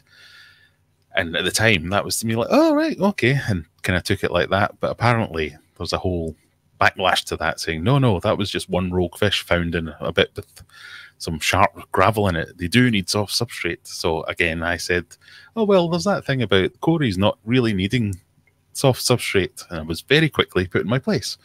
Yeah. think- I, um, I think a rare thing on the internet where I don't mind being corrected, whereas most people will just fight the case constantly. I'm like, oh, right. Okay, got that wrong. Sorry. I think if, if somebody's correcting you and they're coming across respectfully and they're not being condescending, like better please, tang please, those kind of people, it can be it's a good thing. You know, every day's a school day and when you're putting yourself out on the internet, you've got to be prepared to receive feedback, whether it's good or bad. Yeah. I think you you do. So obviously, I get a lot of comments on the videos that I make, and anyone who makes internet content will get comments. People crawl out from under rocks all the time. Yep. I try not to just ignore it. So I ignore the sentiments. So if someone's going, "You bleep bleep bleep bleep bleep idiot," that's wrong. I'll I'll try and take the oh okay that was wrong and ignore the expletives part of it. And I think that's how I find most of the things that I've, I've made mistakes about. Whereas if I was just blocking them and saying no, I'm not going to listen to you, I would I might miss something that's valuable. Just because someone else is a dick doesn't mean I have to be a dick. Yeah. Hmm. There's also a lot to be said about delivery, and it's really hard to take context on stuff with black writing on white page compared to conversing Yeah, with voice and getting all those cues. And sometimes people aren't actually coming across as a real dick. It's just how that's been formulated in written text on on a screen. Yeah, and I, I've probably been guilty of the same thing where I've tried thinking I'm saying something that's just, oh, here's a statement. Whereas if I read it in the other person's voice, I'm like, oh, yeah, okay, I'll take that. Which is why I try not to immediately jump on the, oh, it's just a troll, ignore. There are trolls out there, um, but even trolls say the right twice, what, like a broken clock, the right every now and again. Um, but yeah, I had one the other day that was what was it? A comment. It's the ones that are funny that get me. Where I had one where they commented on one of the videos saying every, everything else was, "Oh, that's an interesting subject. Oh, have you tried this? Oh, what about you could do this, that, or the other?" And this one was terrible title. That was, what is that, That it? does it. Is that it? What? So o- okay, thanks. It's like terrible title. I mean, all that's going to achieve is to get people to click on it and watch your video. And I was like, that means it's a brilliant title. What planet are you on? So every now and again, you'll get the funny ones. Um, but hey, engagement's engagement. I don't care if they're a troll. Yeah. It's, um, I I love reading reviews that people have put a little bit of time into, and they've really become a bit of a wordsmith with it. Like it brightens my day a little bit that someone's put some time into thinking what they're trying to say, as opposed to just a straight up good or rubbish. Yeah. And like read it, start smiling. This is awesome, great. And and it's a similar thing when it comes to comments and, and chat sections and all that kind of stuff. When someone's really put a little bit of thought into it, and really elaborated and enjoyed being a wordsmith, I, I tend to enjoy that a lot more as well. Mm-hmm. Yeah, no, I get that. That, that would be Yeah. good. Few and far between on my videos. Uh, It's mostly you're an idiot. Do you do you play off that somewhat? Um, I used to. Uh, Yeah. I, I tried to. I don't, there's not enough hours in the day, if I'm completely honest. I, I run out of time to get upset about things most of these days. I, I courted it maybe a few years ago where um, if there was a controversy, I might play along, and but yeah, I just can't be bothered anymore. I'm too old and too tired. It just can't be done. no I had a time- bit no of a, no time for drama anymore. I had my I had my share of drama, and I'm finished with it. I had a, had a bit of a public falling out with the king of DIY many moons ago. But- and I, while it was fun, didn't no good things come from it. So there's no point in it. And Yeah. it got to the point where anything that's any disagreement that's had on the internet is very polarizing. There's no nuance to it. It's Yeah. bad guy, good guy. And I don't hate the King of DIY, and I don't think I ever did hate the King of DIY, but that's how it's portrayed of he hates him and he hates him. I mean, both we spoke several times and nobody hates anybody. It's nuance is lost on the internet, so like I say, not enough time in the day for it. Yeah. There you go, that's Rebecca. That's how she found me. there you go. And also, while we're here, Brian says you also called him an idiot in the backhanded way on Friday. Just for some fun. Backhanded way or nicely? I, I didn't mean that you're an idiot. Uh, I try I try not to insult my viewers at the best of times, but you know, Brian makes it hard sometimes. Yeah, that was quite backhanded, and I like it.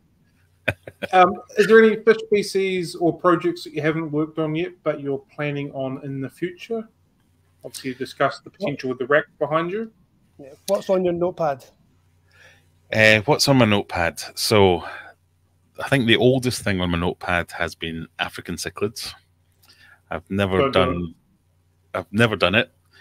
I've always been scared to do it because it feels a little bit discusy. When I was first getting into discus, everyone was an expert. None of them agreed with each other, and I just couldn't see a clear path of what was a good thing to do. So, I like the idea of doing it at some point, but again, it's one of those projects that keeps getting pushed down the list of Mm-hmm. there's always something else in front of it. And in terms of fish, I really want to try stingrays. I really want to try uh, some of the variants of the peacock bass in my mega tank. But again, I'm not really pushing it because as even though it is a big old tank, it is now getting quite full. So that might have to go on the back burner as well. Other than that, I'm kind of happy that I've got to try most things. I'm, I'm going on a bit of a a planted tank shtick at the moment where I bought a load of wholesale plants with the intention of doing what I was talking about, starting to turn all these tanks into nice planted tanks. Mhm. Thinking I'll buy a load of load of plants and then I'll sell some of them, and just whatever whatever I've got left, I can use that to do the plants and sold them all. So I need to do that again now. So that plan didn't quite it worked out quite well financially. Then that I sold them all, but I haven't got enough left to make the tanks. So that'll be the next thing is learning more. And but I've made many, many, many aquascaping videos, but they all go the same way of me standing in front of a tank, throwing stuff in, standing back and going, "Ugh, ugh, ugh." yeah, yeah, all right, that works. Where I've started to try and learn from the people like George Farmer and your MD fish tanks of why does that look nice? And it's all the kind of same design principles for photography and things like that. Of there are some rules to why something is aesthetically pleasing and why something isn't. Mm. But I'm not very good at putting that into practice, um, and I think it's because I don't spend a lot of time planning before I do it. I just this is what I've got. I'm going to throw it in that box and see if I can make it look as good as it can, rather than spend a bit of time going right. What I really need is three large things going that way and one small thing going that way, and then this plant and that plant. So that's what I'm going to be concentrating on probably first because I think mm-hmm. that's the job that I need to do is to make all these look nice. Um, yeah. And then we'll we'll worry about the next stuff after that. Cool. I, I find uh, if I try and plan too far ahead in the future, I just get myself into a world of depression because I run out of time to do any of them, and I have a big list of things that I haven't done, and I go, "Oh, this is no use." Yeah, it's, it's, I'm sure it's a common trait through fish keepers or fish keeping, having all these wanting to do projects and just never kind of achieving them.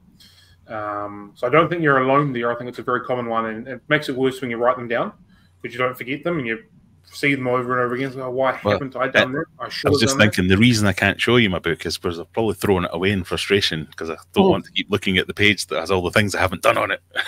yeah. Uh, yeah. Also, unfortunately, uh, if when doing videos and stuff like that, you're mentioning stuff as well. There's also a, a timestamp public of when you said we're going to do things and not actually done things. Um, I believe I was meant to set up my automatic water change system about five years ago, but that's a different story for a different conversation. Yeah, no, I, I find myself it's always right. I'm going to do the thing. I'll just do a water change before I do the thing, and oh, I've noticed that that light's not working, so I'll just fix that, and then I've run out of time to do the thing. Yeah. So, very much yeah. the procrastinator. Yes, you do.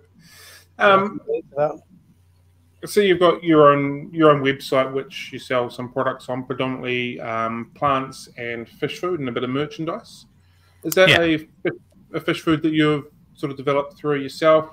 Um, no, is that kind of future planning, or just a wee little side project? It's very much a side project, so I don't yeah. make much money through it, but it is. Um, a few, two or three different suppliers of fish food that I have used where I've gone to them and said, Can I sell this? And they've said yes. So the reason that I talk about, oh, I use Hikari Cichlid Gold because they said no. So I can't sell that as my own product. Whereas there's a company in Germany that makes the um,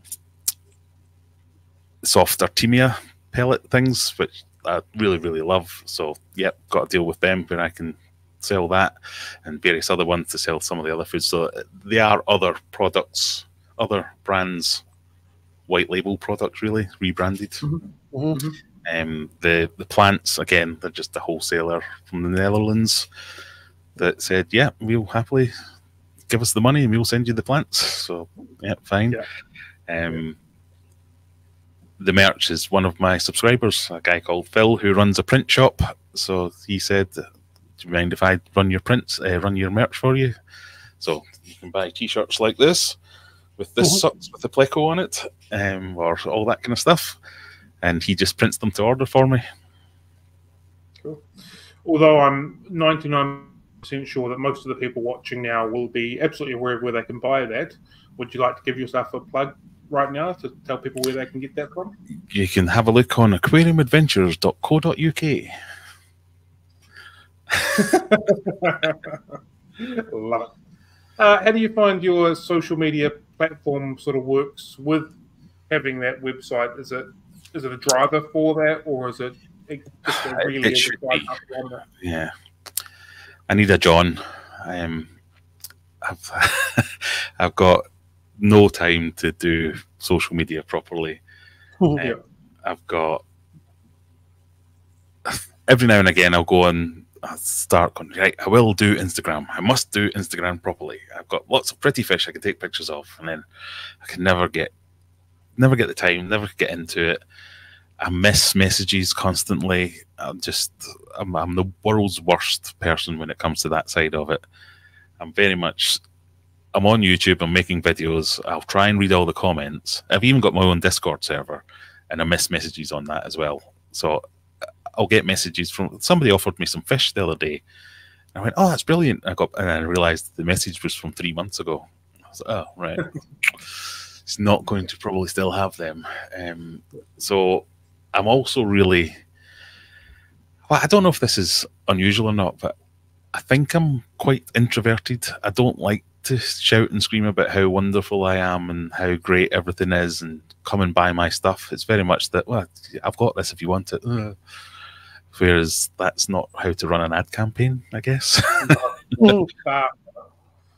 so I know I should do more self promotion. I keep making myself these New Year's lists where I keep saying things like, yeah, I'm going to post more often and try and boost sales, or I'm going to go and visit more people or visit more shops and do face to faces with other YouTubers and creators. And then I never do. Yeah. It's easier planning than it is doing. I can't even plan it. That's the thing. I'm terrible at it. If somebody would just say, like, this is my ideal scenario. Somebody says, Graeme, do you want to come on my live stream at seven o'clock on this date? I can go, yeah, done and I don't have to think about it again until six thirty on that date. Uh, which Cam, you'll probably know. I only today saw the message from you saying, "Can you send me a picture for the thumbnail?" And I oh, went, "Oh yeah, of course I can." And then I went, "Oh, that was from three days ago or something like that." so that'll work. yeah, we got there in the end. But uh, yeah, I, I am I don't want to sound like the martyr because I'm in a very privileged position that I can make videos and have a bit of a community going and all that kind of stuff. But I have a full time job. It is fairly demanding. I've got three kids who are very demanding, and I've got all the other things. So there are there are only so many hours left in the day. Mm. Yeah. I, I duly note that you didn't say you have a wife that is demanding, just in case you still. no, no, she's not demanding. She's very helpful.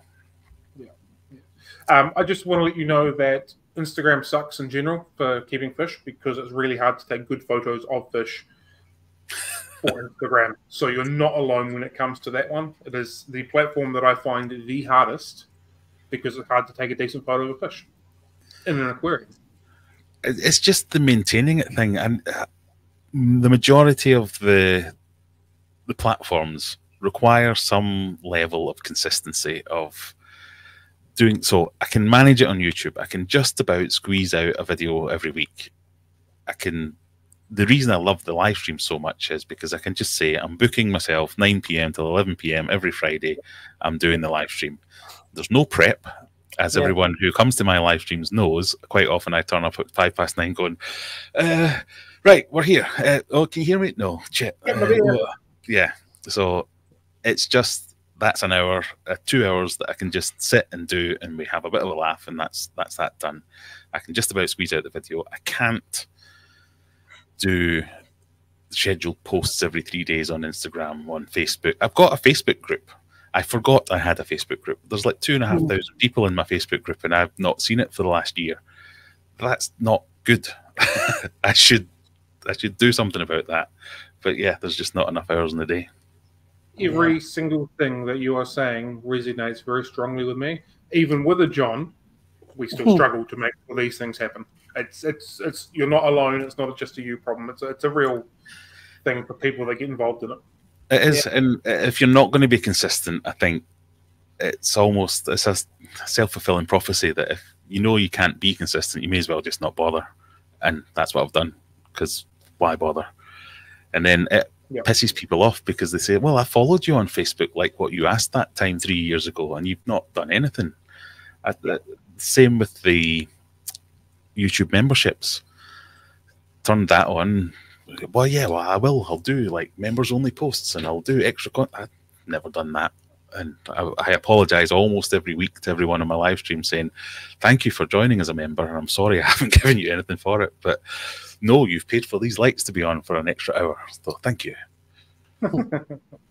um, I was going to ask you what other platforms are you on, but I almost feel like I don't want to ask you that now. Unless well, you want to share what you may or may not be. I'm I'm on them all. I'm just not very good on any of them. if you want to if you want to get in touch with me, the Discord server is probably the one that I'm most active on because it's generally on my screen here most mm-hmm. of the time. Um, and I, am only doing that because I, I, think I've got one in me and I can manage that one because I've got some good people helping me do that.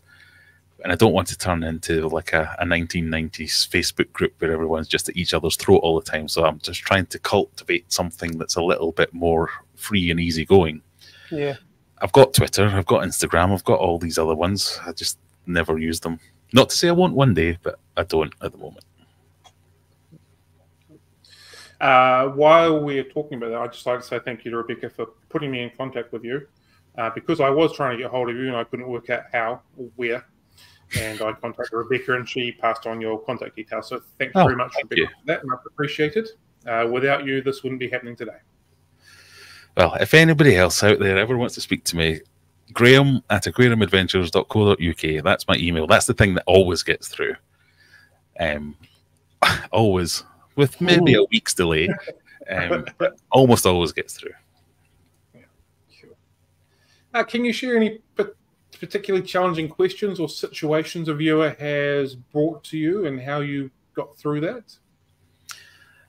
Well, the most challenging things I get is when so I'm not very good at diagnosing illnesses and sickness in general. So I'm often mistaken for an expert because I put videos out on the internet. So I'm always always trying to say, look, I'm just an idiot with a camera and a, a hobby. But people will turn up and demand, my fish has this behavior. What is it? and that's my number one pet hate of things of people who diagnose things with one line of information and then the vitriol or hatred for not diagnosing that thing from one line of information i don't know how to deal with that the best way so i usually just ignore it I, I can't think of any better way to do that I used to try and create templates for like this is your minimum data set for if you have a problem with a tank. I want to know this. How big is the tank? How old is the tank? What's in the tank? How often do you do this? How often do you do that? Then send me that, and I might be able to help you. But no one's willing to do that. It's the old cliche of what are your water parameters? Fine. As much as that is true, sometimes they can be fine. I get that, but it doesn't help when you're trying to diagnose something. And fine is it's a range. Hmm. So some things might happen more readily with more acidic water or harder versus softer or warmer versus colder. So you can have ranges of fine within all that, but it doesn't help me tell you what's wrong. And then I'm also an idiot. So at the best of times, I'm not going to be able to tell you what's wrong with your fish. So I'm just disappointing people from the get go. So that's my number one bugbear is not knowing how to diagnose fish illnesses, even when I do get the information. And it's the only way I can get through it is to be apologetic and say, sorry, join my Discord. Someone really clever will help you.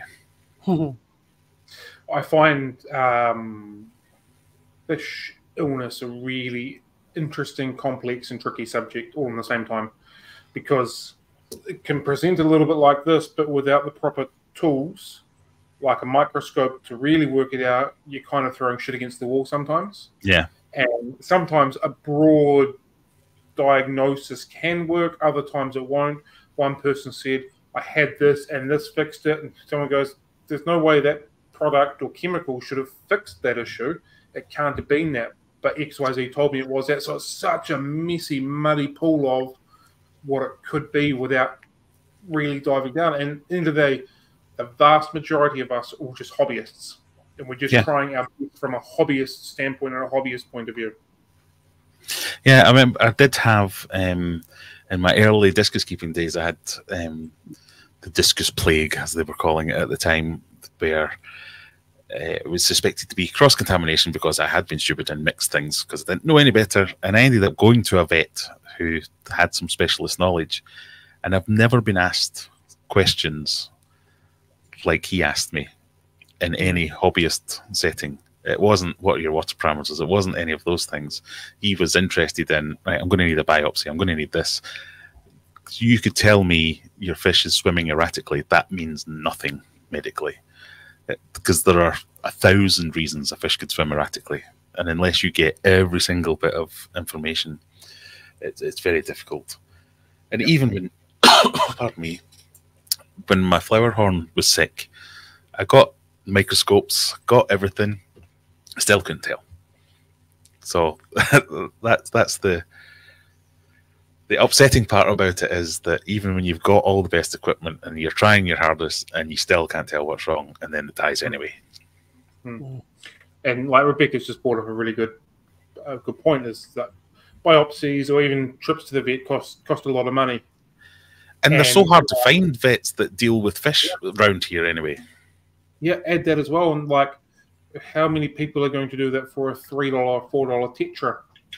Because it's only three or four dollars, and we put the, the money over the fish life compared to yeah. say like a, a couple hundred dollar flower horn, you'll be more likely to want to, to try and do that. But it's still a live animal. We should still be trying to do better. But it's it's such a, a tricky, tricky, complex situation and subject. It's yeah, no real right or wrong answer for it, so to speak.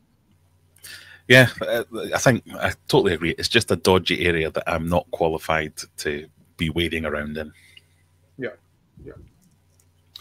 Uh, we will just change subject to a little bit lighter. Uh, we've got a question off the floor. Death Actually, this, this, might this might yeah. not be a little bit lighter. If you were in a shop and the wrong tank size or advice was being told, would you step in? No, not really lighter. No. no, I, w- uh, I have done in the past. I don't know if he's referring to a story I've told, but um, in general, no, because it's it's it's very hard to be very wrong with things like that. How big a tank do I need? But if it's horrific advice and I'm in a fish shop, I'll often kind of go and try and call that person. go, uh, do you know when he said you wanted a 40 liter tank? I think he meant 200.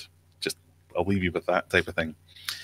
Um, but I've not heard such terrible advice. I mean, even with the uh, like your pets at home or big box stores, as they might be in the states or wherever else you are in the world, the people that work there, they tend to be good natured. They tend mm. to be people who are interested in it, just because their company isn't the best at making posters. Like I don't know if you remember John the pets at home stuff that said if you want a fish, buy a tank today, come back tomorrow for your fish. Yeah, that, then, then, it'll be cycled. And uh, even the folk that work in pets at home were a bit like, we don't have a choice. We had to put that poster up. Yeah. We're telling people to ignore that.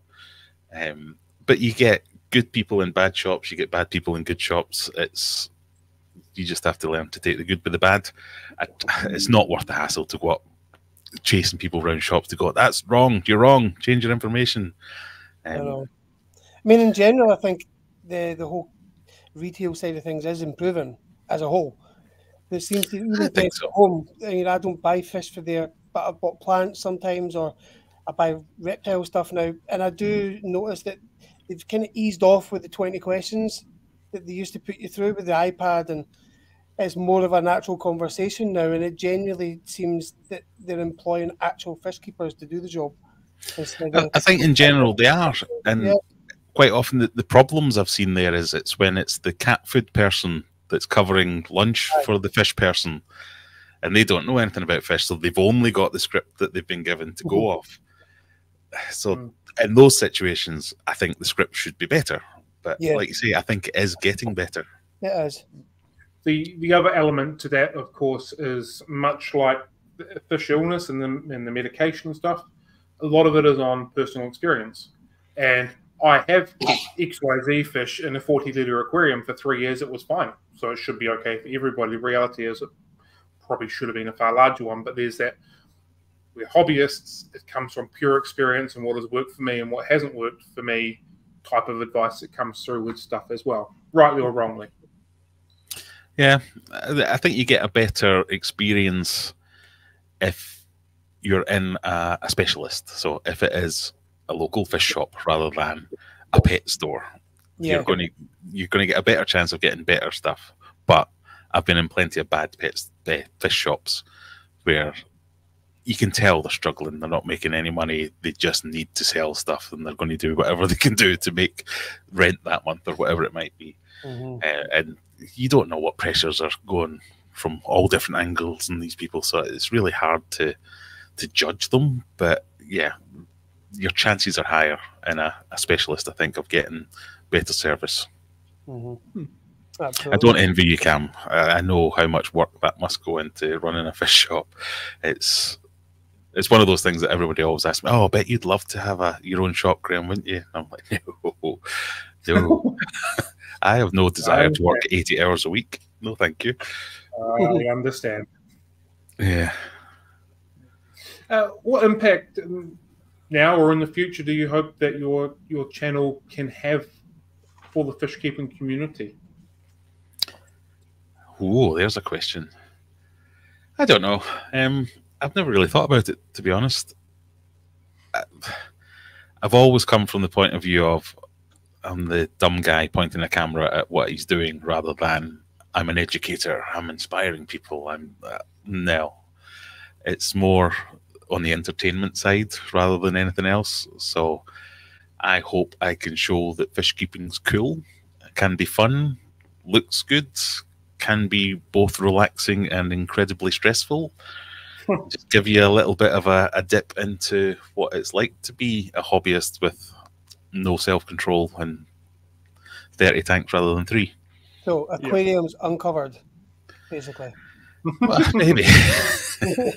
Confessions of an aquarist. Oh, that's that's the title of my book. Yeah. yeah. Is that on your notepad? I'll, I'll, put it when I find my notepad. I'll put it on. yeah, I, I, have no grand aspirations. Um, I often joke that yeah, YouTube is my retirement plan. Uh, that if I keep going, I'm bound to grow a bit and make a little bit of money out of it. But when you get people who are like one of the most frustrating things is Rebecca, freshwater ichthyology. Why is she isn't letting me edit her videos or putting out more videos with the wealth of knowledge that she's got there. Yeah. That's the kind of thing where I think YouTube is the perfect space for that. It's yeah. where anyone can share their knowledge. Anyone includes the idiots as well as the actual experts. So I'm I'd, I'd love to use my platform if I have it to share more of the experts and the good people than anything else because it's not going to come from me. I'm never going to have the time to become an expert. I might become experienced, but then I'll be one of those people I always moan about that says just because you've been doing it a long time doesn't mean you're doing it right. Yeah. Yeah, totally agree. There's an incredible amount of knowledge in Rebecca's head, and it's phenomenal when it just comes out. It's great. It's fantastic. Yeah, and it's I know I'm picking on her because she comes to my live streams all the time, and I see her in my Discord, and she has helped me and given me advice and things like that. But there are others. I want mm. to. A, a, lot of the the YouTubers are a bit protective sometimes. I feel where they're like, "Oh, that person knows more than me, so they must be put down." Whereas I'm like, "No, God, get front and center. You should be the one telling people how to do things." Do you think this is just coming off the top of my head, so I might not word it the way that I'm trying to ask it? Do you think that the people that have a lot of the people that have got all of this really intense quality knowledge get slightly put off from the flashy buy my stuff look at my fancy stuff wow bright light type of youtube and go i don't want to be a part of that as opposed to i've got all of the stuff that the world can really benefit from or the fish keeping world can benefit from yeah i think there probably is an element of that. I wouldn't like to second guess anyone as to that being the yeah. reason, but yeah. you have to have a level of shamelessness to make YouTube videos. Who, why would you want to watch me talk about a nitrogen cycle? The the gall, the absolute gall of me to think I can make a video and people will watch it, but they do. So mm. that's I think if you've spent a lot of time gathering all this knowledge and becoming an expert in something, that's a big leap to take to go mm. from being a respected professional publishing papers doing talks and all that kind of stuff to hi guys oh god it makes me sick just to think about me doing that kind of stuff so i can imagine what it's like for them but the yeah. thing is there is a lot of people on youtube that do serious videos and they do them in the, the format of like a lecture but obviously a bit friendlier than standing up you know pointing away um, so I think it, it, it, can you can deliver quality whilst you know, keeping it relatively entertaining as well, without selling That- soul. I think that's the thing about YouTube is that it is a platform that's so diverse. You can Mm. have stupid vloggy stuff to uh, everyday life stuff to proper lectures and well researched think papers and every every aspect has its thing. But what I mean by my my frustrations with Rebecca's channel, and sorry to pick on you, Rebecca, about this.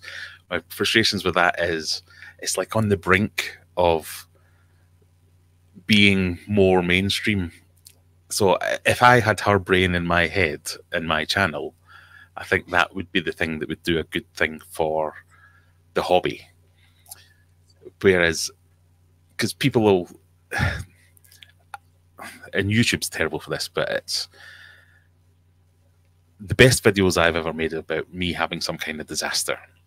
Yeah. And because I'm a stupid idiot, I have lots of disasters, so therefore I have lots of decent videos and I get a bit of traction and things start to move and all that kind of stuff. But at the end of the day, I've got nothing to offer you. It is just if you stay and you're hanging around, you're staying because you don't mind me or you find me mildly interesting or mildly funny. I'm, you're not here for my knowledge. You shouldn't have to do all that, but that is what happens. You have to make the virally videos, or at least attempt every now and again to please the algorithm, to get some kind of growth, to build an audience. And then once you've got your audience, what are you going to do with it? I'm not going to do anything with it. I'm just going to keep building it very, very slowly. Whereas someone like Rebecca could be using that to then spread the word about everyone says plecos need to eat wood. It's not true. And rather than have a thousand people watch it, have 10,000 people watch it. You know, the with knowledge that Rebecca's got, she's got the capacity to change the hobby. But again, I'm putting a lot of this on her, and I was using her as an example because she might not want to. It's, so it's not for me to say you should do this and oh you're frustrating me. It's when I use her as an example, I mean people like her Yeah, I know. because the dry university style lecture on YouTube, the people that want that knowledge will seek it out. The people that don't even know it exists will never come across it. So we have to have something that bridges that gap. Mm, Yeah. So we're, I think this is, we're approaching having 50 guests on now, 48, 47, something on those marks. And we've had some incredibly intelligent people and knowledgeable human beings on, on our show and we've talked to. And often I'll, get off it and, and I feel absolutely enlightened and, oh, wow, this was phenomenal. And I feel inspired and, and knowledge has come through. And then like I question why these people aren't getting more people watching it and having that change in those mindsets. And it purely has to be the, in my mind, the the lack thereof, the clicky clicky. You got to be buying my stuff sort of stuff because, as far as a hobby goes, I think we need more people like that coming through, promoting it Yeah. from a real knowledge base, not a well, I tried this base, give it a click base sort of thing. Mhm. The majority of channels out there doing fish stuff, they're repeating the same stuff over and over again that everyone else is repeating. And it's not that these people have studied this, they've just watched someone else say it and they're repeating it. And I probably do that as well. Like the whole six discus to a tank thing. I haven't gone out and done any research to prove whether that is the optimal number or not. Just repeating what someone told me once and happens to work for me. It's it's a very tricky thing to try and work out what the difference is between an entertainment channel and an education channel. For sure. Alexander combines Mm. both very well. Yeah, Mhm. Yeah, he's very good at what he does as well. Um, He's got that thing of just he pumps it out, so he's got Yeah. that that work ethic as well. Um, but again, he, he's not. They're not hugely polished videos. They're not. Um, You- you- I, I'm not having a go at them, but it, it is no, no, you sacrifice high quality cameras and, and production for the information that's coming through those videos. what I like about Yeah. his videos is I see a bit of my videos in them, whereas I'm pointing my camera at me doing a bit of filtration tinkering, he's pointing at his camera, going, "I've just remembered this thing that's really interesting, so I'm going to tell you about it." And it's that kind of style that's really good. Yeah, it's it's almost like you're stepping in to that person's fishing, or you've popped round to your friend's house and you're both sat in front of the, the fish tank and you're chatting about fish. Yeah. That's what I like. That's and I think for a lot of people that follow yourself, Graeme, is they get that vibe of they're enjoying your hobby with you. Yeah, well, uh, that- that's about the best I can offer. yeah, I think for a lot of people that they don't have access to other local fish keepers aquariums, and so they do seek that out online. And then for somebody like yourself who's not trying to sell punt, sell gimmick, high end aquascapes, and you are a hobbyist, and and that comes through the screen. So that that's your value. I mean that that's what I find appealing. That's I'm about to move into high end aquascaping now. Not really. So I, I find it very difficult to accept any praise for doing a good job on YouTube because I don't think I I don't work particularly hard at it. I'm just consistent. Mhm. I try and stick to my special sauce of film what you do every now and again, throw in a bit of a funny one. Yeah. and enjoy it on on the way through. Yeah, because if I don't enjoy it, I'm not going to do it. So I don't need to. Yeah. So 100%. I really start to look forward to my Friday nights now because I get to hang out with other weirdos like me. Um, yeah, it's it's fun. As long as it's fun, I'm going to keep doing it. The, the best thing I like about your Friday nights is at times about the time that I've just left work for the morning. So I get to go home and have a have a piece of toast and a, and a cup of coffee, and you're on doing your live. So I get to watch that between the ruckus of being at work and the ruckus of dealing with my family. There's this little period of time that I can just sit and have other fish stuff being put in my face. Where I sit and shout at websites for not working properly, or why is my camera not uh, focus? You damn.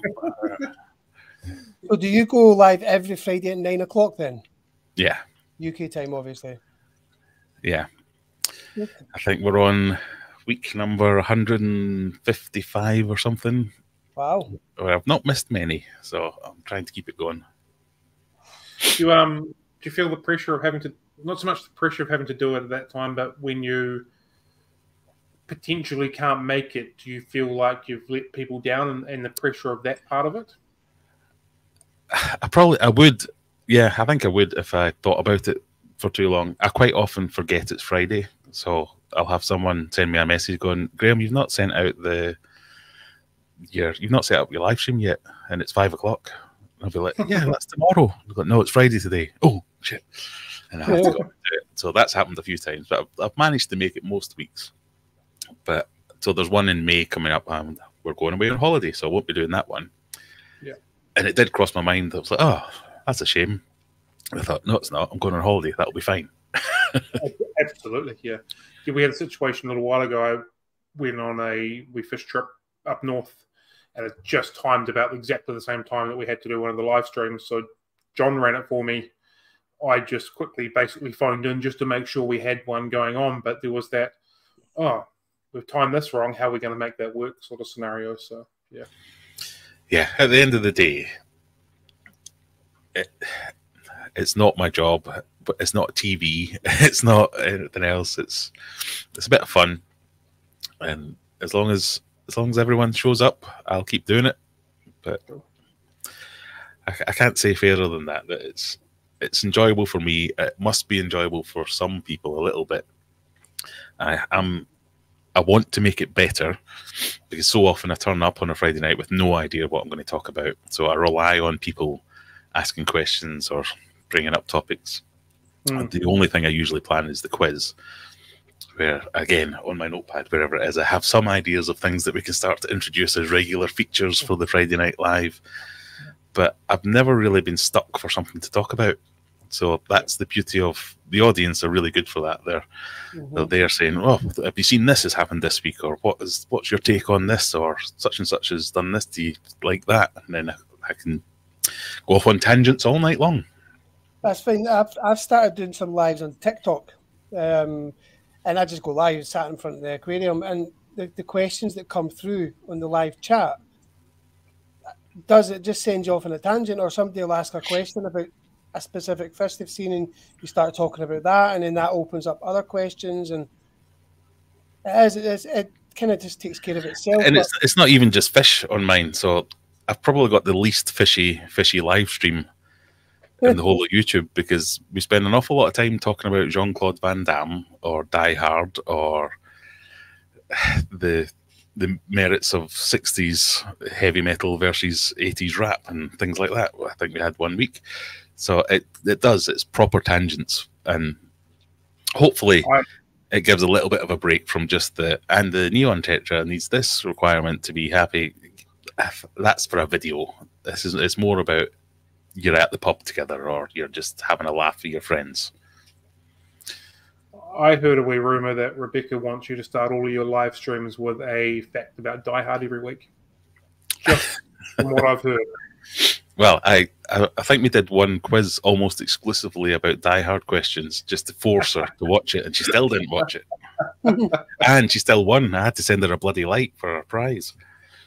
That's brilliant. Um, have you experimented with different tank setups or themes? Um, you know, do you have a particular style that you like, or what? You know, when it comes to aquariums, what's your favorite sort of thing?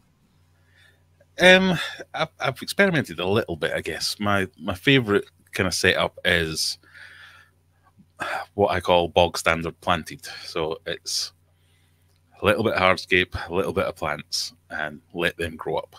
Um, I've experimented with. We did a, a subscriber tank link to the live screen where we picked the, our favorite fish, picked our favorite tank type, picked our favorite fish, and uh, picked all the various bits, and ended up with, I think it was a, an African biotope that I had to build. And then I went away and did that as a project. So that was quite fun. And we might do another one of them quite soon. Um, but yeah, I, I don't, I don't have any specific standards or anything. I'm quite happy to give everything a shot, and I've, I've probably tried most things but I'm quite low maintenance. So whatever's easiest. yeah, that makes sense. makes absolute sense. Uh, how do you approach the topic of sustainability in your fish keeping practices? Uh, at arm's length, I think it's one of those things where I get it and it's important, and I see it coming in on various things where I think mm, that's not as sustainable as you're making that out. Um, so I, am trying not to fall foul of my own standards on that. Where as if I say, "Oh, I'm so sustainable now. I'm recycling all my water. I don't do water changes. I've, I'm using renewable energy. I'm only getting fish that are tank bred rather than wild caught." Or for each of those statements, there will be someone that will argue that that's not how you do sustainability you should you should be buying wild caught because that's supporting the areas where these fish are naturally kept, and if you don't support mm-hmm. those areas, they'll die out. And then another faction will say no, because if you keep taking fish from there, they'll die out. So you can't please everyone. So that that's kind of I say uh, at arm's length because I, am I'm, I'm scared to make a statement. I'm just kind of sitting on the fence with that one because uh, yeah. I, I, get both. I get both. Um, every year I do a um, a like a charity calendar giveaway thing. And this year was the, the Freshwater Life Project and the I always struggle with this name, the Amazon Research for Ornamental Fishes or something. yeah. So we gave to them. Um, and I, am fully behind both of those causes. I think they're great. I, I did parts in the live streams and some videos about why I chose them. I mean, they were suggested by my subscribers, but others were suggested that I didn't pick, but I picked them and said that I think these are good ideas. And the amount of people that were like, no, they're terrible. You should have gone with this. You can't win.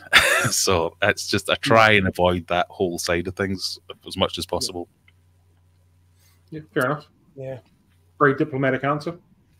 I'm very good at that. So I can sit on the fence like nobody's business. Uh, what's been the biggest surprise or unexpected unexpected aspect of running aquarium adventures for you? the biggest surprise. And I think it's probably the community. So I have people who I don't speak to them often, and when I do speak to, like, so Brian, I instantly knew who that was, and I felt comfortable enough to take the piss out of him a little bit, like you would a friend. I've never met the guy. I might meet him one day. Um, these are there are people I have never met in real life who I spend more time with than some of my actual friends. Um, because they watch my videos, they turn up on my live streams, and we talk about stuff that's not even fish sometimes. And I never thought that would be a byproduct of starting a YouTube channel. Mhm. So I'll go with that. Cool. Fair enough. I totally understand that as well. uh, can you share any tips for capturing high quality photos or videos of aquariums? As I've mentioned before, Instagram sucks because it's really hard to get decent photos and videos of fish. How do you kind of counter that for your videos? yeah, it's difficult. Um, I've even tried to make a couple of videos on how to improve your aquatic photography or aquatic videography. And then it's one of those, you know, when you said earlier about you make statements on the internet that people can track and call you out on. Ah, yeah. So then when I say, this is how you take great photos and great videos of your fish, and then three weeks later they go, what is this abomination of a video you shot out of focus, no light, can't see anything. So I'm, I'm a victim of my own um, statements sometimes, but Yeah. in general, more light than you think necessary. And once you've done that, double it. Um, every other light off because the reflections just ruin everything. So I've got one of these big massive hoods that I can put on the end of the camera. So if that's the if that's the lens, there's a, a hood that's like yay big that I can stick up against the glass when I want to take pictures.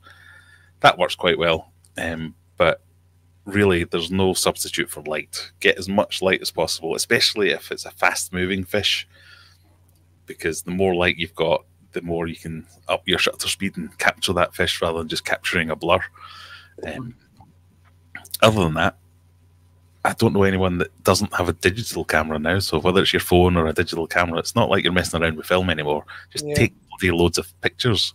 One of them will work, and then the more you do it, the better you get. I think it's worth noting that the pictures that you see, like in PFK, they are edited. Hmm. The imperfections are removed for a lot of them before published. So what you're seeing is not somebody just going bang. They're maybe doing that a thousand times to get that image, but then they're maybe and then they're running it through LUTs in their Lightroom or something like that. Yeah. That's making all the pop the colors pop or yeah, all Mhm. that kind of stuff. If you, if it is photography you're interested in, then you probably already know about photography, and it's really just apply all those same things, but to f- your subject is a fish now rather than that. And the only difference with that is the reflections. They get in the way. So get up close, get in, get more light than you need, and then you can let AI do its magic in Lightroom and make it pop. Yeah. So do you do all your work on a, a DLSR as opposed to a um, a phone camera? Most of it, yeah. Um, I, I do occasionally take stuff with the phone just because it's handy. If I see something, I'll be like, "Oh, whip the phone out and do that." But I have my my Canon M50. I've got two of these. Um, one that I'm talking to you now on my live stream, and then another one that I use to go around uh, and do my films or whatever. But yeah, I'll whip out the camera every now and again. I've got a GoPro somewhere that I have a fight with every week because it, I try and like have a GoPro set up on one of the tanks, so when they have the live stream, I can switch to it, and it never bloody works. Um, but I use that every now and again as well. Um, yeah, I'm not precious. Whatever's hanging around, I'll give it a bash. cool, cool. Uh, before you get into more questions, Cam, I'm just going to have to say I need to head off. Um, I've got one of my kids and need me to do something. Been really cool talking to you, Graeme. Yes, nice Um, to meet you. I'll I'll catch up with you tomorrow night, guaranteed. Um, thanks everybody, and thanks Cam. I'll catch up with you later on tonight with. Um, Good stuff. cheers, guys. Cool. Thank you. Bye. Bye. Nice to see you. Cheers, bye. Bye. All right, cool. So, uh, looking forward, what are some of the goals or aspirations you have for your YouTube channel and your platform? well, I did write down some goals. So every year I do a how my channel is performing video at the end of the year as a, a kind of true up. Uh, so my first goal for this year was I wanted to get to 25,000 subscribers, thinking that I wouldn't be able to do that because I haven't, my growth hasn't been able to sustain it. But as of today, I'm on 31. So tick, job done. Well done.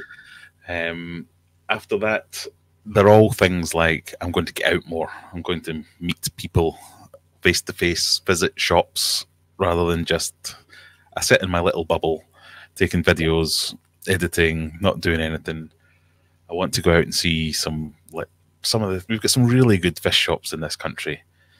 Um, and if I have got any kind of audience, it's only fair that I go and give them a bit of a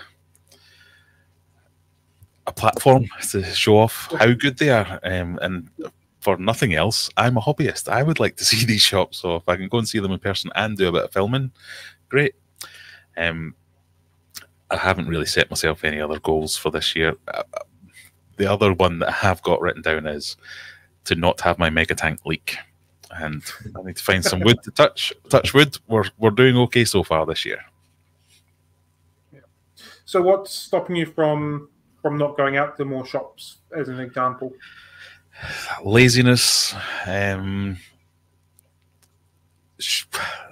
I, I really struggle with.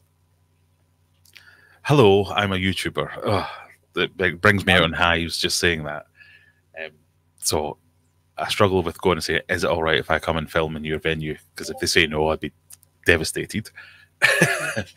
um, and I still want to go anyway and it's just I'm in my safe little space and my safe little bubble. I don't want to leave my house. I've become a hermit in my old age. Fair enough. Um, I understand that. Basically, if I'm not at work, I'm at home, and I don't want to go anywhere from there. Yeah.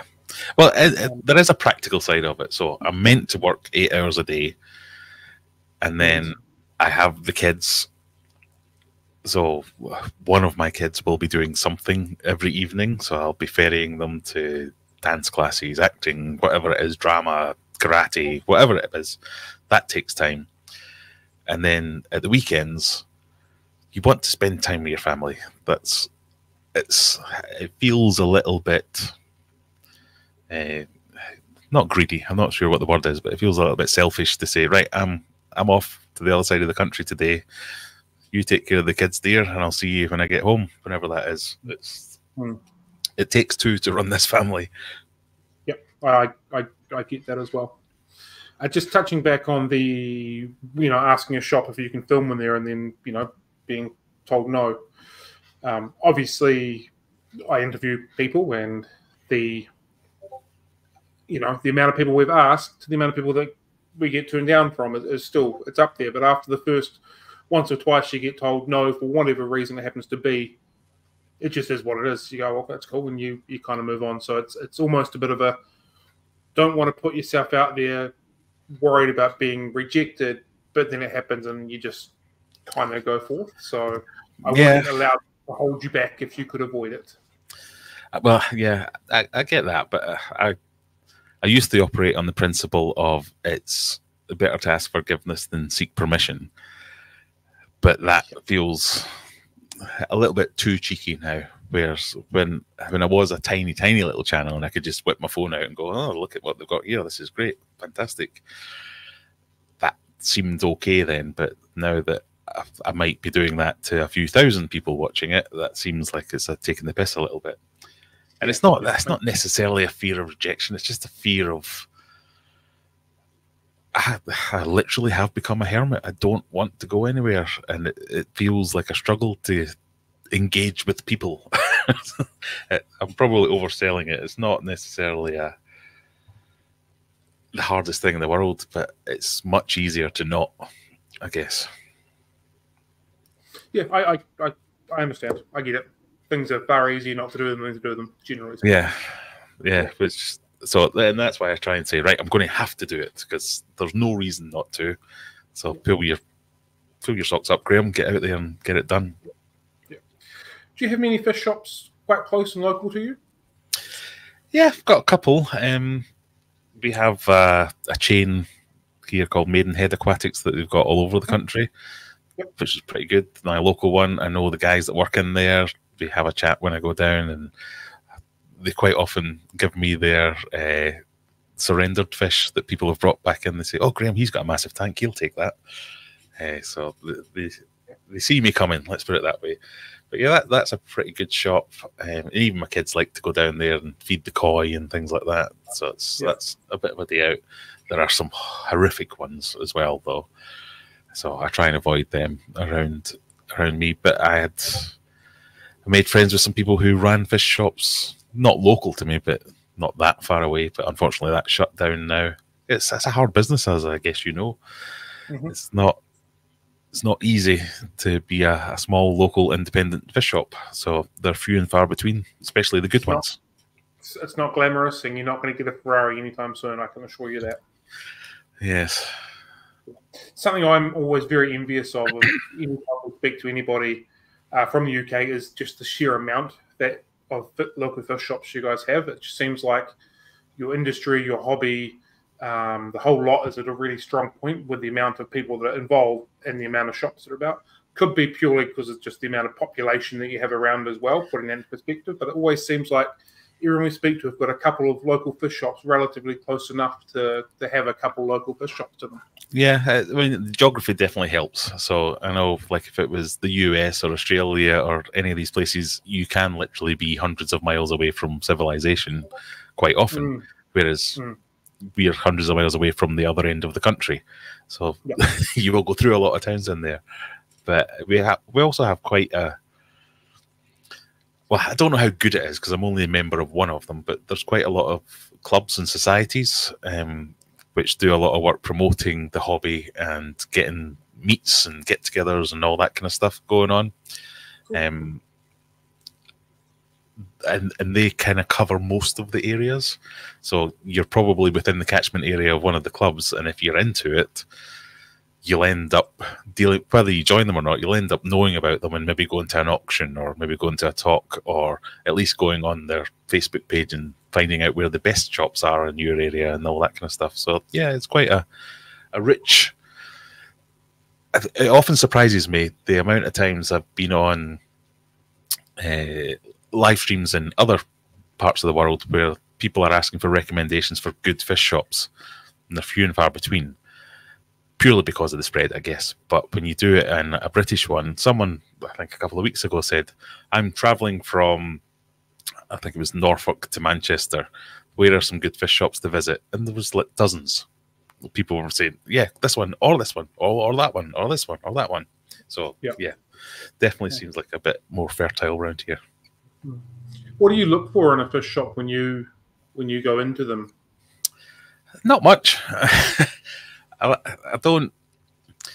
I try not to be too judgmental because I know how hard it can be, and I know there can be, like any small business, there are pressures that aren't just things that matter to a hobbyist. So it's a business first and foremost. So I shouldn't expect that they'll care just as much as me. So it's always nice when they do seem to. So that's probably the first thing is the attitudes.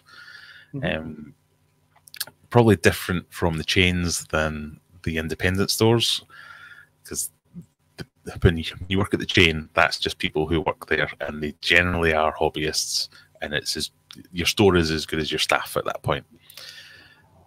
The things that I'm not all that put off by the odd dead fish.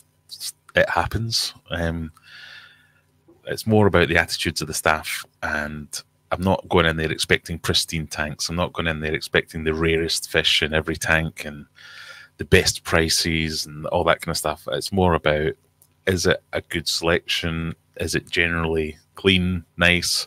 I hate these dark and dingy little backstreet ones. They always, yeah, moldy, damp, horrible places to be. Um, but other than that, I'm not that precious about it. I'm just looking for something that's got good stuff in. I want. I actively want to support them. Yeah, cool. What's your favorite local shop here? At the moment, it's the Maidenhead Aquatics because it is my local shop and it is pretty big and it's pretty good and the staff are pretty knowledgeable. Um, I even have some of the staff join me on my live stream. Um, so it's they are hobbyists. Um, Yep. Uh, So it's the kind of place you can go and have a chat and say, I mean, I get preferential rates as well sometimes, which is always nice. So that's quite good. Yeah. But they know almost to a detriment. They know that I know about fish, so they quite often won't tell me things about fish when I'm like, I don't know what this is. What is it? Tell me. Oh, you you'll know about this. And I'm like, no, what is it? so I get that a little bit. Yeah. Um, but yeah, they're, they're really good, and I really like that shop. And of all the chains, it's probably the best one that I've had as a chain. I had a favourite previous to that was there's a shop called Wharf Aquatics, which Mhm. is the place that's it's got everything. It's it's like a maze, it's a warren, and they have all kinds of weird and wonderful things. And again, it's the staff that make it. They are hobbyists that happen to work in a fish shop as well, and they they do know all the stuff that's going on there. I had the privilege to go and work in a fish shop. Uh, so I had some friends over in Oldham who he the one that shut down. He ran that fish shop for a while, and I used to go over and visit them fairly regularly. They used to like dress me up in their t-shirts and make me serve customers and do clean tanks out and stuff like that. And shot some videos with them about day in the life of a fish keeper, just like yours, um, a fish shop owner. Um, so that was quite good. But again, I got to see behind the the curtain there of how hard it was to run that, and it was, that was probably what put me off any aspirations to have my own one day. Because Yeah, fair enough. I am lazy. I, I, I don't think I could do it. Yeah, cool. Uh, that brings us to the end of my structured questions that I have for you. I made it. So now it's time for our school of six. Um, I was going to change them all up for you, but because I'm also lazy, I forgot all about changing them. So I did what? Well, as I'm also lazy, I forgot to study them, so I, Oh, good. we're fine. Cool. Uh, so, do you prefer tea or coffee? I'm, I'm a neither. If anything, coffee. Coffee. Okay. Cool. Cool. Uh, heads or tails? Tails, tails, tails never fails. That's great. Uh, playing paper, scissors, rocks. What's your first call? Uh, I don't know if I should reveal this. The, uh, my kids will start beating me. It's usually paper. Cool. Uh, if you could have a meal with somebody alive, dead, fictional, it's from any time in the universe, time, when would that be? Oh, who would that be? Sorry. you know, I've answered this question so many times on all these like team building exercises, and I don't think I've ever given the same answer twice. I, I struggle with this one. Um, I don't know. Um, I kind of want to pick somebody like my great grandfather or something like that that I could quiz and ask about ancestry and things like that. Um, I'll, I'll go with that. Uh, or Jean Claude Van Damme, just to keep my stream happy. Um, are we alone in the universe Uh, For now, for now? Okay, cool. what is your unicorn fish, whether that be uh, having it, keeping it, taking photos of it, swimming with it, breeding with it, can be absolutely anything. But what would be your unicorn fish? Mm.